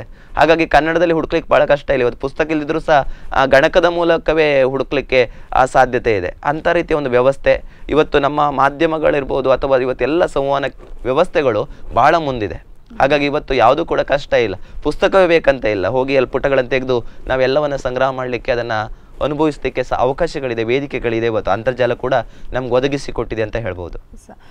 ಮಾಧ್ಯಮಗಳ ವಿಚಾರಕ್ಕೆ ಬಂದರೆ ಪತ್ರಿಕಾ ಮಾಧ್ಯಮ ಇರ್ಬೋದು ಟಿ ವಿ ಮಾಧ್ಯಮಗಳಿರ್ಬೋದು, ಒಂಥರ ಇಂಗ್ಲಿಷ್ಮಯ ಆಗ್ತಾ ಇದೆ ಅಂತ ಅನ್ನಿಸ್ತಾ ಇಲ್ವಾ? ಹಿಂದೆ ಒಂದು ಹತ್ತು ವರ್ಷಗಳ ಹಿಂದೆ ಕನ್ನಡ ಮಾಧ್ಯಮಗಳು ಅದು ಏನು ಮನರಂಜನಾ ಮಾಧ್ಯಮ ಆಗಿರಲಿ, ಸುದ್ದಿ ಮಾಧ್ಯಮಗಳಾಗಿರಲಿ, ನೋಡುವಾಗ ಸಂಪೂರ್ಣ ಕನ್ನಡಮಯವಾಗ್ತಾ ಇತ್ತು. ಇವತ್ತು ಈ ಒಂದು ಮಾಧ್ಯಮಗಳಿಂದಲೇ ಒಂಥರ ಇಂಗ್ಲಿಷ್ ಹೇರಿಕೆ ಆಗ್ತಾ ಇದೆ ಅಂತ ಅನ್ನಿಸ್ತಾ ಇಲ್ಲ. ಆ, ಮಾಧ್ಯಮದಲ್ಲಿ ಮುಖ್ಯವಾಗಿ ಬಳಸುವಾಗ ನಮ್ಗೆ ಅನಿಸ್ಬೋದು, ನಿರೂಪಕರಿರ್ಬೋದು ಅಥವಾ ವಾರ್ತೆಯಲ್ಲಿರ್ಬೋದು, ಬಹುಶಃ ಆ ಎಲ್ಲೋ ಕನ್ನಡವನ್ನೇ ಬಳಸಿದ್ರೆ ಆ ವಾರ್ತೆ ಬಹುಶಃ ಎಲ್ರಿಗೂ ಮುಟ್ಲಿಕ್ಕೂ ಇಲ್ಲ. ಸುದ್ದಿ ತಲುಪಲಿಕ್ಕೂ ಇಲ್ಲ. ಯಾಕಂದ್ರೆ ಅಸ್ಪಷ್ಟತೆ ಆಗ್ಬೋದು. ಎಷ್ಟೋ ಪದಗಳನ್ನ ಅರ್ಥ ಮಾಡಿಕೊಳ್ಳಷ್ಟು ತಾಳ್ಮೆ ಕೂಡ ಯಾರಿಗೂ ಇರುವುದಿಲ್ಲ. ಯಾಕಂದ್ರೆ ಅದನ್ನ ಸೂಕ್ತವಾಗಿ ಆಂಗ್ಲ ಬಳಸಿ ಹೇಳುವಂತ ಅನಿವಾರ್ಯ ಇದೆ. ಯಾಕಂದ್ರೆ ಅದು ಸ್ಪಷ್ಟತೆ. ಇವತ್ತು ಬಹುಶಃ ವೃದ್ಧಾಪ್ಯದಲ್ಲಿದ್ದವರಿಗೂ ಕೂಡ ಏನು ಕನ್ನಡ ಅಂತ ಹೇಳಲಿಕ್ಕೆ ಆಗೋದಿಲ್ಲ ಅವರು ಕೂಡ ಏನಾಗಿದೆ ಕೇಳಿದ್ರೆ ಆಂಗ್ಲ ಇವತ್ತು ಮನೆ ಕೆಲಸ ಮಾಡುವವರು ಕೂಡ ಆಂಗ್ಲದಲ್ಲೇ ತೊಡಗಿಸಿಕೊಂಡಿರ್ತಾರೆ. ಇಂಥ ಒಂದು ಪರಿಸ್ಥಿತಿಯಲ್ಲಿ ನಾವು ಕನ್ನಡವನ್ನೇ ಬಳಸ್ತೇವೆ ಅಥವಾ ಕನ್ನಡದಲ್ಲೇ ನಾವು ನಿರೂಪಣೆಯನ್ನು ಮಾಡಬೇಕು ಅಂತ ಹೇಳಿದ್ರೆ ಅದು ಬಹುಶಃ ಕೇಳಲಿಕ್ಕೂ ಕಷ್ಟ ಆಗ್ಬೋದು. ಹಾಗಂತ ಒಂದಷ್ಟು ಅಭಿಮಾನಿಗಳಿಗೆ ಅದು ಇಷ್ಟ ಆಗ್ಬೋದು ಸಹ್ಯವಾಗ್ಬೋದು. ಉಳಿದವರಿಗೆ ಅದು ಅಸಹ್ಯ ಕೂಡ ಸಹಿಸಿಕೊಳ್ಳಿಕ್ಕೂ ಕೂಡ ಕಷ್ಟ ಆಗ್ಬೋದು. ಆ ನೆಲೆಯಲ್ಲಿ ಬಹುಸಂಖ್ಯಾತರು ಹೇಗಿದ್ದಾರೆ? ಆ ನೆಲೆಯಲ್ಲಿ ಪ್ರೇಕ್ಷಕ ವರ್ಗ ಹೇಗಿದೆ? ಹಾಗೆ ಮಾಡುವಂಥದ್ದು ಅನಿವಾರ್ಯ. ಯಾಕಂದ್ರೆ ಇವತ್ತು ಸ್ಪರ್ಧಾತ್ಮಕ ಜಗತ್ತು ಮಾಧ್ಯಮಗಳಲ್ಲೂ ಕೂಡ ಸ್ಪರ್ಧ ಸ್ಪರ್ಧೆಗಳಿದೆ. ಈಗ ನಿಮ್ಮ ದೂರದರ್ಶನ ಮಾಧ್ಯಮಗಳಿರ್ಬೋದು ಅದರಲ್ಲಿ ಕೂಡ ಹಲವು ವ್ಯವಸ್ಥೆಗಳಿದೆ. ಎಷ್ಟೋ ಸ್ಪರ್ಧೆ ಅಂಥ ಸ್ಪರ್ಧೆಯಲ್ಲಿ ಆ, ಬಹಳ ಸವಾಲಿದೆ. ಹಾಗಾಗಿ ನಾವು ಭಾಷೆ ಅಂತ ಒಂದೇ ನೆಲೆಯಲ್ಲಿ ಯೋಚನೆ ಮಾಡ್ತಾ ಹೋದರೆ ಬಹುಶಃ ನಮ್ಮನ್ನ ಉಳಿಸ್ಕೊಳ್ಳೋದು ಕಷ್ಟ, ವ್ಯವಸ್ಥೆನ ಉಳಿಸ್ಕೊಳ್ಳೋದು ಕೂಡ ಕಷ್ಟ ಆಗ್ತದೆ. ಕನ್ನಡದ ಬರವಣಿಗೆ ವಿಚಾರಕ್ಕೆ ಬಂದರೆ ಇತ್ತೀಚಿನ ಒಂದು ಯುವ ಜನತೆ ಆಗಿರ್ಬೋದು ಅಥವಾ ಇತ್ತೀಚಿನ ವರ್ಗದಲ್ಲಿ ಏನು ಕನ್ನಡದ ಬರವಣಿಗೆನ ಮಾಡ್ತಾ ಇದ್ದಾರೆ, ಅಥವಾ ಹಿಂದೆ ಏನೋ ಬರವಣಿಗೆಗಳಿರ್ತಿತ್ತು ಹಾಗೂ ಇಂದಿನ ಬರವಣಿಗೆಗಳು ಏನಿದೆ, ಅಥವಾ ಅದರಲ್ಲಿ ಆಗುವಂತಹ ತಪ್ಪುಗಳು ಏನಿದೆ ಪದಗಳ ಬಳಕೆ ಏನಿದೆ, ಪದದ ಹಿಡಿತದ ಬಗ್ಗೆ ಏನು ಹೇಳ್ತೀರಾ? ಬಹುಶಃ ಅದಕ್ಕೆ ಕಾರಣ ನಮ್ಮ ಒಂದು ವ್ಯವಸ್ಥೆಗಳು, ಶಿಕ್ಷಣ ವ್ಯವಸ್ಥೆಗಳು ಅಂತ ನಾನು ಹೇಳ್ತೇನೆ. ಆ ನೋಡಿ ಬರೆಯುವುದು ಅಂತ ಇದೆ. ಬಹುಶಃ ಮೂರು ಗೆರೆ ಕನ್ನಡದಲ್ಲಿ ಅದ್ರ ಮೂರು ಗೆರೆ ಆಂಗ್ಲ ಭಾಷೆಯಲ್ಲಿ ಅದ್ರ ನಾಲ್ಕು ಗೆರೆಗಳಲ್ಲಿ ನಾವು ಬರೆಯುವುದೇನಿದೆ ಅದ್ರ ಪ್ರಮಾಣ ಎಲ್ಲ ಕಡಿಮೆ ಆಗ್ತಾ ಹೋಗಿದೆ. ಬಹುಶಃ ಇದ್ರೂ ಕೂಡ ಬರೆದ್ರೂ ಕೂಡ ಎರಡು ಗೆರೆ ಬರೆದ್ರೆ ಸಾಕು. ಒಂದು ಕಾಲದಲ್ಲಿ ಪುಟ ಬರಿಬೇಕಿತ್ತು ಒಂದು ಪುಟ ಪೂರ್ಣವಾಗಿ ಬರಿಬೇಕಿತ್ತು. ಅದು ಕೂಡ ಚಾಚು ತಪ್ಪದೆ ಯಾವ ಅಕ್ಷರಗಳು ಯಾವ ಗೆರೆಗೆ ತಾಗಬೇಕು ಅಂತ. ಒಂದು ವೇಳೆ ಬರಿಲಿಲ್ಲ ಅಂತ ಹೇಳಿದ್ರೆ ನಮ್ಮ ಕೈ ಮೇಲೆ ನಮ್ಮ ಗುರುಗಳಂತ ಕನ್ನಡ ಗುರುಗಳು ಸದಾಶಿವ ಗೊಲ್ರು ಅಂತ ಕೈ ಮೇಲೆ ಹೊಡಿತಾ ಇದ್ರು. ಹೀಗೆ ಮುಷ್ಟಿ ಕಟ್ಟಿ ಅದಕ್ಕೆ ಹೊಡಿತಾ ಇದ್ರು. ಯಾಕಂದ್ರೆ ಅಕ್ಷರ ದುಂಡಗೆ ಬರಬೇಕು ಸುಂದರ ಅಕ್ಷರ ಇರಬೇಕು ಅನ್ನುವಂಥದ್ದು. ಯಾಕಂದ್ರೆ ಇದೆಲ್ಲ ಅಕ್ಷರಗಳನ್ನ ಬದಲಾವಣೆ ಮಾಡ್ಲಿಕ್ಕೆ. ಯಾಕಂದ್ರೆ ನಾವು ಎಳೆದ್ರಲ್ಲೇ ಬದ್ ಬದಲಾವಣೆ ಆಗದೆ ಇದ್ರೆ ಮತ್ತೆ ದೊಡ್ಡದಾದ ಮೇಲೆ ಬದಲಾವಣೆ ಆಗ್ಲಿಕ್ಕೆ ಆಗುದಿಲ್ಲ ಭಾಷೆ ಬೆಳವಣಿಗೆ ಆಗುದಿಲ್ಲ ಗಿಡವಾಗಿ ಬಗ್ಗದ್ದು ಮರವಾಗಿ ಬಗ್ಗೀತೆ ಎಂದಾಗೆ. ಹಾಗಾಗಿ ಅಕ್ಷರವನ್ನ ಬಹಳ ಎಳೆದ್ರಲ್ಲೇ ನಾವೇನ್ ಮಾಡ್ಬೇಕು ಸಣ್ಣರಿರುವಾಗಲೇ ಅದನ್ನು ತಿದ್ದುವಂತ ಕೆಲಸ. ಇನ್ನೊಂದು ಉಕ್ತ ಲೇಖನ ಅಂತ ಕೊಡ್ತಾರೆ. ಅವರೊಂದು ಮೂರು ಬಾರಿ ಹೇಳ್ತಾರೆ. ಅಷ್ಟರಲ್ಲಿ ಕೇಳಿ ಬರೆಯುವುದು ಅಂತ. ಅದು ನೋಡಿ ಬರೆಯುವುದು ಇದು ಕೇಳಿ ಬರೆಯುವುದು ಇದೆರಡು ಕೂಡ. ಅವನ ಅವಧಾನ ಹೇಗೆ ಕೇಂದ್ರೀಕರಣ ಇದೆ? ಅವನ ಗಮನ ಇದರ ಕಡೆಗೆ ಇದೆಯಾ ಅಥವಾ ಇಲ್ವೋ? ಅದು ಪರೀಕ್ಷೆ ಮಾಡಲಿಕ್ಕೆ. ಅವನ ಕಿವಿಯನ್ನು ಕೂಡ ಅವನು ಕೇಳ್ತದೆ ಇಲ್ವೋ ಅನ್ನೋ ಪರೀಕ್ಷೆ ಕೂಡ ಅದರಲ್ಲಿ ಆಗ್ತದೆ ಮೂರು ಬಾರಿ ಹೇಳೋದ್ರಿಂದ ಹಾಗಾಗಿ ಆ ಅಕ್ಷರಗಳನ್ನು ಮೊದಲು ಸುಧಾರಿಸಬೇಕು. ಇವತ್ತು ಬರೆಯೋರ ಸಂಖ್ಯೆ ಭಾಳ ಕಡಿಮೆ ಇದೆ. ಎಲ್ಲನಲ್ಲಿ ವಿದ್ಯಾರ್ಥಿನಲ್ಲೇ ಮಾತ್ರ ಹೇಳೋದಿಲ್ಲ. ಆ ಬಹುಶಃ ಹೊರಗಿಲ್ಲೋರ ಸಂಖ್ಯೆನೇ ಜಾಸ್ತಿ. ಎಲ್ಲ ಬರ್ಕೊಂಡು ಒಳ ಕೂತ್ಕೊಳ್ಳೋರಿಗಿಂತ ಬರೀದೆ ಹೊರಗಿರುವವ್ರ ಸಂಖ್ಯೆನೇ ಜಾಸ್ತಿ ಆಗಿದೆ. ಮತ್ತೆ ಇಡೀ ವ್ಯವಸ್ಥೆಯನ್ನು ನೋಡಿದ್ರು ಕೂಡ ಇವತ್ತು ಪತ್ರಲೇಖನ ವ್ಯವಸ್ಥೆ ಇಲ್ಲ. ಎಲ್ಲೋ ಸರ್ಕಾರಿ ನೆಲೆಯಲ್ಲಿ ಏನೋ ಒಂದು ಸುತ್ತೋಲೆಗಳು ಹೊರಡ್ತಾವೆ ಬಿಟ್ರೆ ಬೇರೆ ಬರವಣಿಗೆ ಕ್ರಮವೇ ಇಲ್ಲ. ಇವತ್ತು ಬಹುಶಃ ಚಲನವಾಣಿ ಇಂಥ ವ್ಯವಸ್ಥೆಗಳೆಲ್ಲ ಬಂದು ಎಲ್ಲ ಸಂದೇಶಗಳು ನೇರವಾಗಿ ಹೋಗ್ತಾ ಇದೆ. ಒಂದು ಕಾಲದಲ್ಲಿ ಪಕ್ಷಿಗಳ ಹಂಸದ ಮೂಲಕ ಹೋದಂತ ಏನು ಅಂಚೆ ಅಂತ ಇತ್ತು. ಇವತ್ತು ಬಹುಶಃ ಚಲನವಾಣಿ ಮೂಲಕವೇ ಸಂದೇಶ ಹೋಗ್ತಾ ಇದೆ.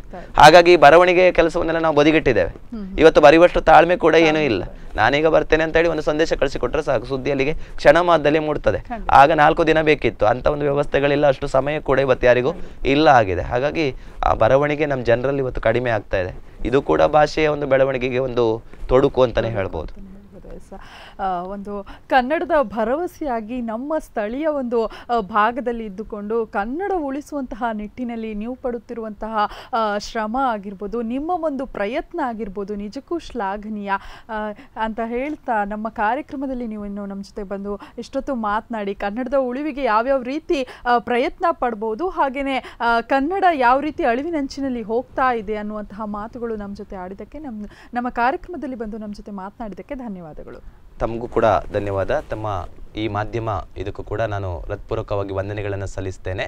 ತಮಗೆಲ್ಲರಿಗೂ ಕೂಡ ಕನ್ನಡ ರಾಜ್ಯೋತ್ಸವದ ಶುಭಾಶಯಗಳನ್ನು ಕೋರ್ತಾ, ಇದು ಕೇವಲ ಒಂದು ದಿನದ ಭಾಷೆಯಾಗದೆ, ಇದು ನಿಮ್ಮಲ್ಲಿ ಸದಾ ವಿಷಯ. ಸರ್ವಕಾಲದಲ್ಲೂ ಕೂಡ ನಿಮ್ಮ ನಾಲಿಗೆಯಲ್ಲಿ ಕನ್ನಡ ನುಡಿ ಆ ಸರಸ್ವತಿ ನಲಿದಾಡಲಿ.